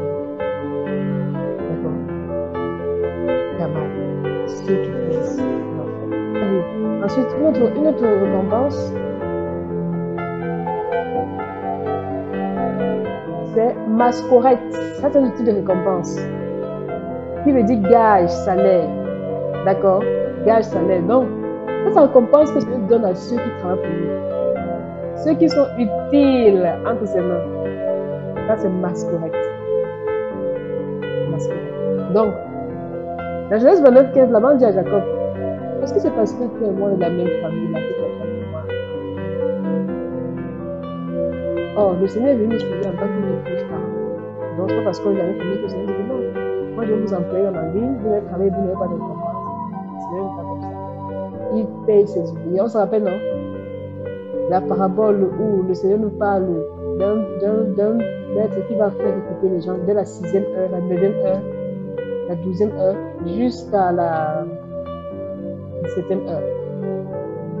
Et après, il va nous donner la récompense. Donc, quand tu regardes ça, tu dis non, Seigneur, je vais te servir. Il faut regarder la récompense. La récompense motive. Je vous assure, quand on regarde au bac, tu le diplôme comme ça, tu vois comment tu es saigné par ce papier là, tu es juste là, tu sais tout ce truc. Le gros papier ça fait combien d'heures C'est comme la récompense.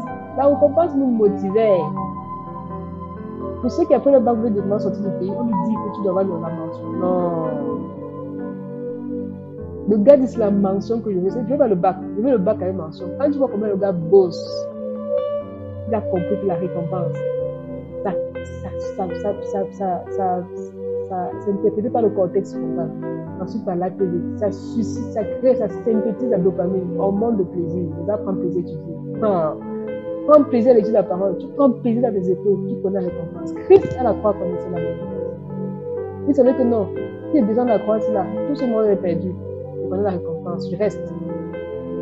Amen. Je reste. Que l'éternel, Ruth 2.12, que l'éternel te rende, te rende ce que tu as fait et que ta récompense soit entière, entière de la part de, de l'éternel, de Dieu d'Israël, sous les ailes duquel tu t'es venu te réfugier. La récompense, masquerade, c'est de Saka qu'on a vu, on a interprété. Donc, notre type de récompense, c'est Péula. Alors, Péula nous parle de quoi? Nous parle du travail, toujours. Regardons. 2 Chroniques 15, 7 nous dit Vous donc fortifiez-vous et ne laissez pas vos mains s'affaiblir. Là, il y aura quoi? Il y aura- quoi? Est-ce qu'on a vu quelque chose là? La Bible dit que celui qui se relâche est frère de celui qui détruit. Celui qui se relâche dans son travail est frère de celui qui détruit. Donc, ça veut dire que quand tu te relâches dans ton travail, nous dit, tu deviens le frère de Satan. Donc, pourquoi tu te relâches pas? La Bible dit que fortifiez-vous. Ça veut dire que deviens encore fort.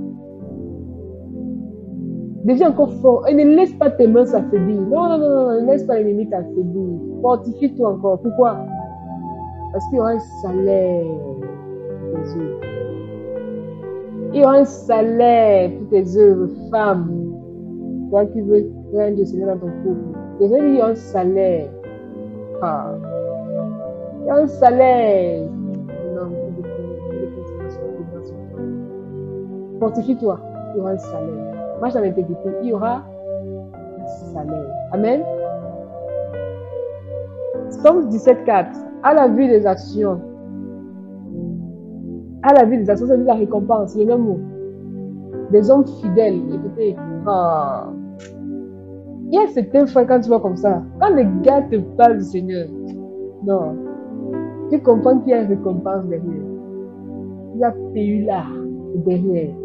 Il dit à la vue des actions des hommes fidèles à la parole, je te lève, je me tiens en garde contre la bonne. Ah. David a regardé, il a dit non. Quand je vois comment tu récompenses les gens qui sont fidèles, pas, il faut pas marcher dans la vérité, il faut pas marcher la droiture. Parce que tout vient compter.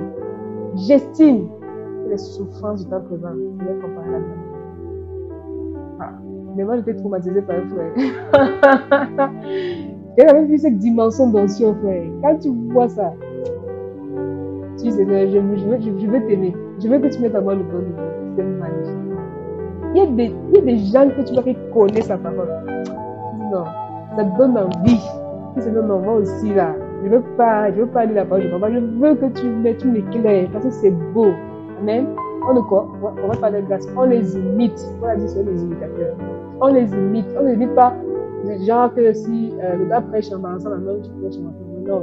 Mais tu imites son désir du Seigneur. C'est quand tu regardes le Seigneur, tu dis, Seigneur, moi je veux te rendre désir. Parce que je crois que je te désire. Mais quand je vois celui-là, comment il t'aime, je vais t'aimer plus que ça. Plus que ce que je, ce que, ce que je, je, je, je t'aime aujourd'hui. Je vais t'aimer plus que ce que, plus que, ce que je veux. Je vais t'aimer plus que ça. Je vais t'aimer plus que ça. Et tu pries que le Seigneur, lui, de ce frère-là, augmente encore dans sa vie. Amen. C'est beau.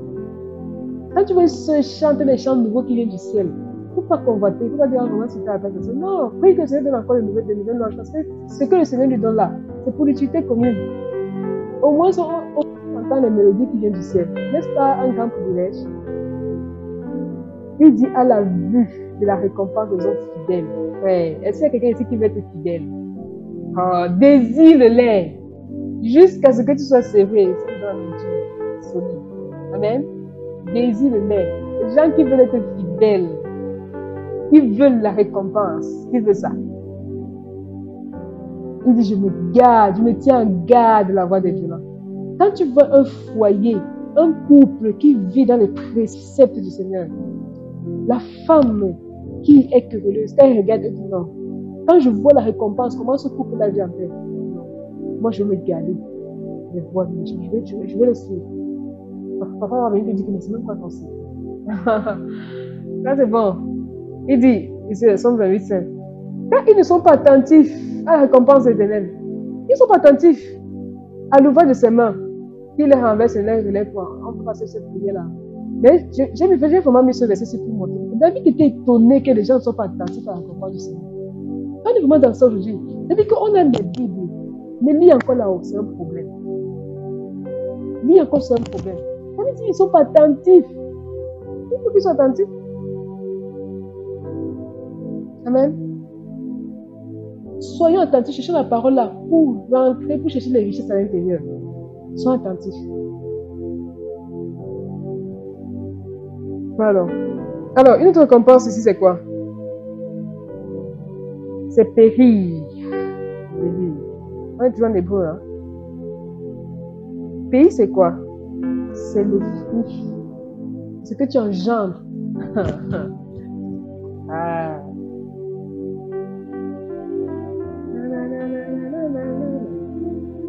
Est-ce qu'on peut mettre une pause pour chanter là? C'est trop excitant.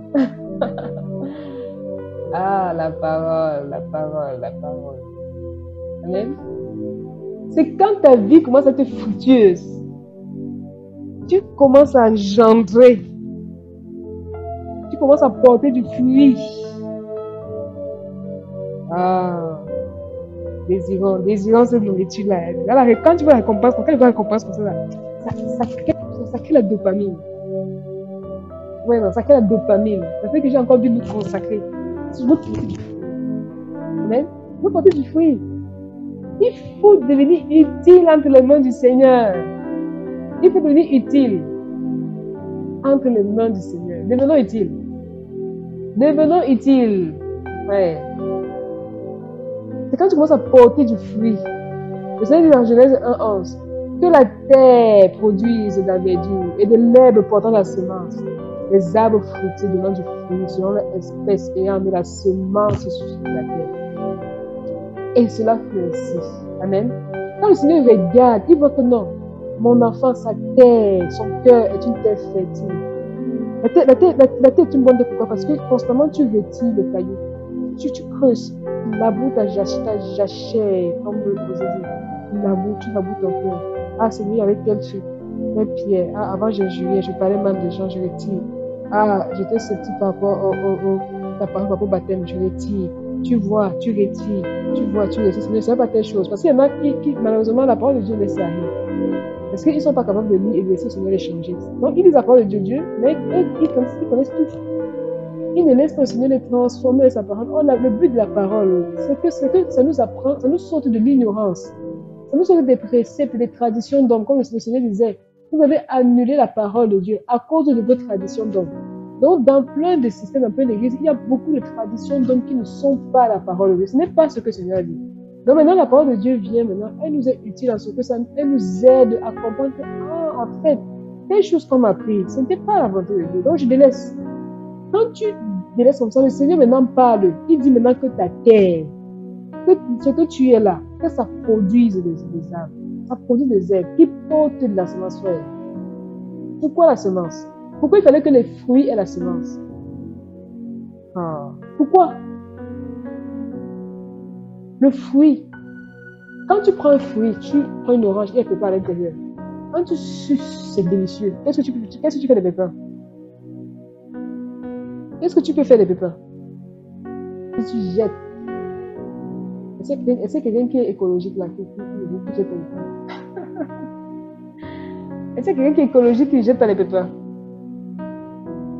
On peut jeter, bien sûr. On peut faire mieux. On plante. Parce que quand tu as goûté une race d'arbres fruitiers délicieux, qu'est-ce que tu fais? Tu dis, je conserve cette race-là. Tu plantes. C'est-à-dire que celui qui t'approche, qui prend ton fruit, a à l'intérieur la semence. Tu fais quoi? Pour devenir aussi quelqu'un comme toi. Pour devenir de la même espèce que toi. C'est valable dans tous les deux sens. Si tu marches, c'est ça que la Bible dit que les mauvaises compagnies font les bonnes Si tu marches avec quelqu'un qui est prends sa semence et tu deviens comme lui. Ça qu'on dit, dis-moi avec qui tu marches, je te dirai qui tu es. Amen? Voici, des fils sont un héritage et le fruit des entrailles est une récompense. Donc ça, c'est quand tu commences à changer spirituellement. Amen?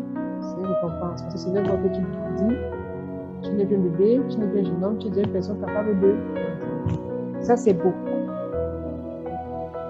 Alors, une autre récompense, c'est quoi? C'est Témura. Hmm. Témura, c'est là. On va pas traiter ça comme récompense. C'est vrai que c'est aussi traduit par récompense, mais c'est il faut pas en fait c'est ce qu'il faut pas changer en fait non? Euh, c'est ici ce qu'il ne faut pas faire et changer sa récompense pour des choses terrestres. Par exemple dans Job 28 12 à 17 je vais lire. Je vais lire Job 28 12 à 17 pour qu'on puisse bien comprendre pourquoi il s'agit ici c'est qu'il ne faudra pas qu'on fasse Job 28 12 à 17 d'accord? Mais la sagesse on parle ici de la sagesse. La sagesse où se trouve-t-elle où est le lieu du discernement? Le mortel n'en connaît pas l'estimation. Le mortel ne connaît pas l'estimation de la sagesse. Elle ne se trouve pas dans la terre Verset 14. La Bible dit Elle n'est pas en moi. Et la mère dit Elle n'est pas en moi. Dans la Bible, et la mère dit que non, on n'a pas la sagesse. Elle ne se donne pas contre l'or pur. D'accord? La sagesse ne se donne pas contre l'or pur. C'est-à-dire que tu peux, acheter la sagesse avec l'or pur. Et elle ne s'achète pas au poids d'argent. Donc tu peux prendre l'argent, tu peux dire tu, tu, vas dire à que tu vas acheter la sagesse. La sagesse. Elle n'entre pas en balance avec l'or d'Ophir, ni l'onyx précieux, ni le saphir, ni le diamant. Ni l'or, ni le diamant ne peuvent être comparés. Et l'on ne peut échanger contre un vase d'offrande ça qu'il ne faut pas. Il ne faut pas prendre ta sagesse ici, là, plus grossement comme récompense C'est beau comme quoi C'est beau comme Esaü qui a donné son droit de laisse pour avoir de la nourriture, pour pouvoir manger. Il a changé son droit de laisse. C'est comme quoi C'est comme une personne qui va partir pécher. En fait, quand tu vas pécher, tu es en train de vendre ton droit de messe. C'est dommage parce que tu as changé ton droit de messe, ta récompense pour des choses terrestres. Donc ça, c'est ce qu'on n'est pas faire. Alors, si on veut garder sa récompense, c'est ce que nous en garde. Amen. Gardez-vous de pratiquer votre justice devant les hommes pour être vu. Autrement, vous n'aurez pas de récompense auprès de votre Père Donc, celui qui aime la récompense ne doit faire des choses pour que les hommes le voient te plaît, tu ne faut pas quelque chose de pour fais les choses parce que les gens sont là, tu peux voir. Tu aides les gens parce que tu veux avoir un bon. Tu, tu vas avoir un, un, un, je sais pas, un bon témoignage devant les hommes, mais tu ne fais, tu, tu, pas devant le Seigneur, tu fais devant les hommes. Je veux dire que si tu fais ça, tu fais ta récompense.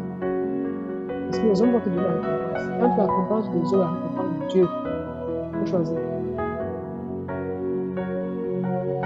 Il faut choisir.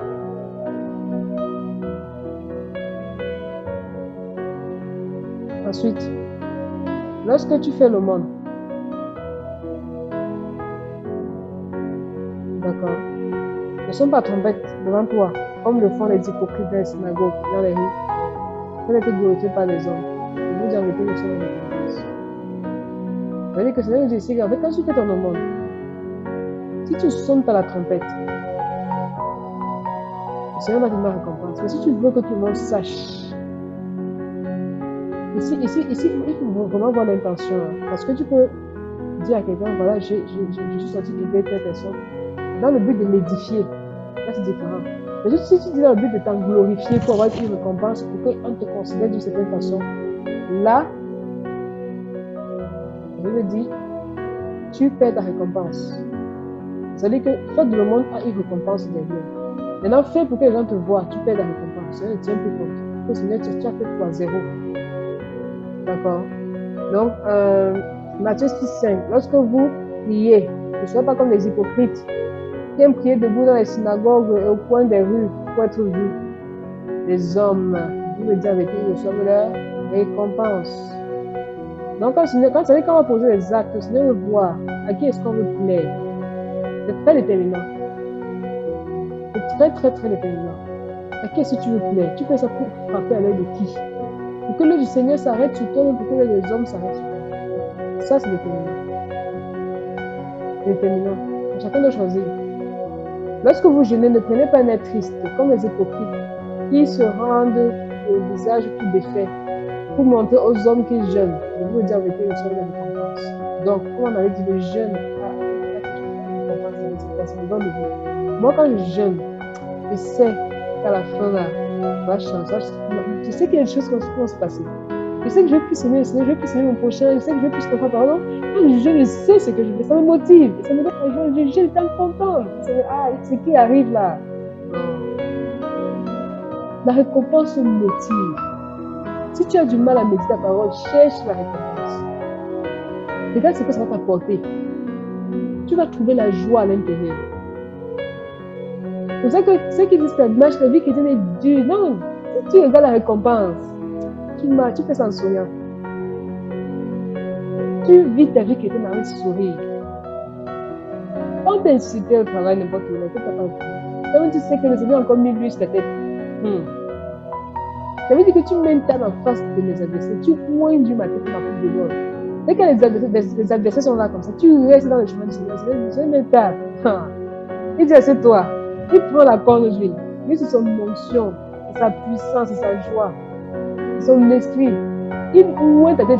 Ah, que ça déborde? Amen. Quand tu connais la récompense, le plaisir vient. Et ce plaisir-là va changer le désir va engendrer le désir. Cherche la récompense. Cherche la récompense. Pourquoi je vais méditer? Qu'est-ce que la méditation va faire? Ça va te faire bien te porter spirituellement. Ça va te donner un grand discernement. Avant que ton mari ou ta femme commence à agir, tu sauras déjà que ce qui se passe. Ah non, là, là, là, ça, ça c'est la blessure. Il agit comme ça parce qu'il est blessé. Tu commences dans la méditation, tu pries pour lui. Ça, c'est la récompense. Quand quelqu'un vient t'insulter, tu comprends qu'en fait la personne est blessée. Ça, c'est la récompense. Ça te donne un caractère nouveau, ça te donne de la maturité. J'aime ça, la maturité. Te donne de la sagesse, la récompense. Amen. Ce n'est pas quelqu'un qui le fera pour toi. C'est toi qui dois le faire. Ça sert à rien de prier, de dire juste, Seigneur, mets à moi l'amour d'après. Non faut que toi-même tu regardes sais qu'est-ce que, que, j'ai proches que je vais m'appuyer pour pouvoir avancer. Récompense sa vie éternelle. Là, je ne suis même pas entré dans le regret. Je ne suis pas entré dans le regret. Là, je me suis arrêté sur le goût. Mais on aurait quand même une récompense sur le la éternelle. Si je m'arrête là, on doit passer seulement la messe. On parler de récompense, ça ne s'arrête pas. Amen. Voilà, la vie éternelle.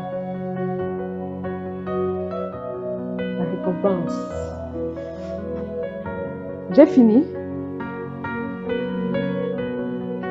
Être Gardons en tête, la vie éternelle. Amen.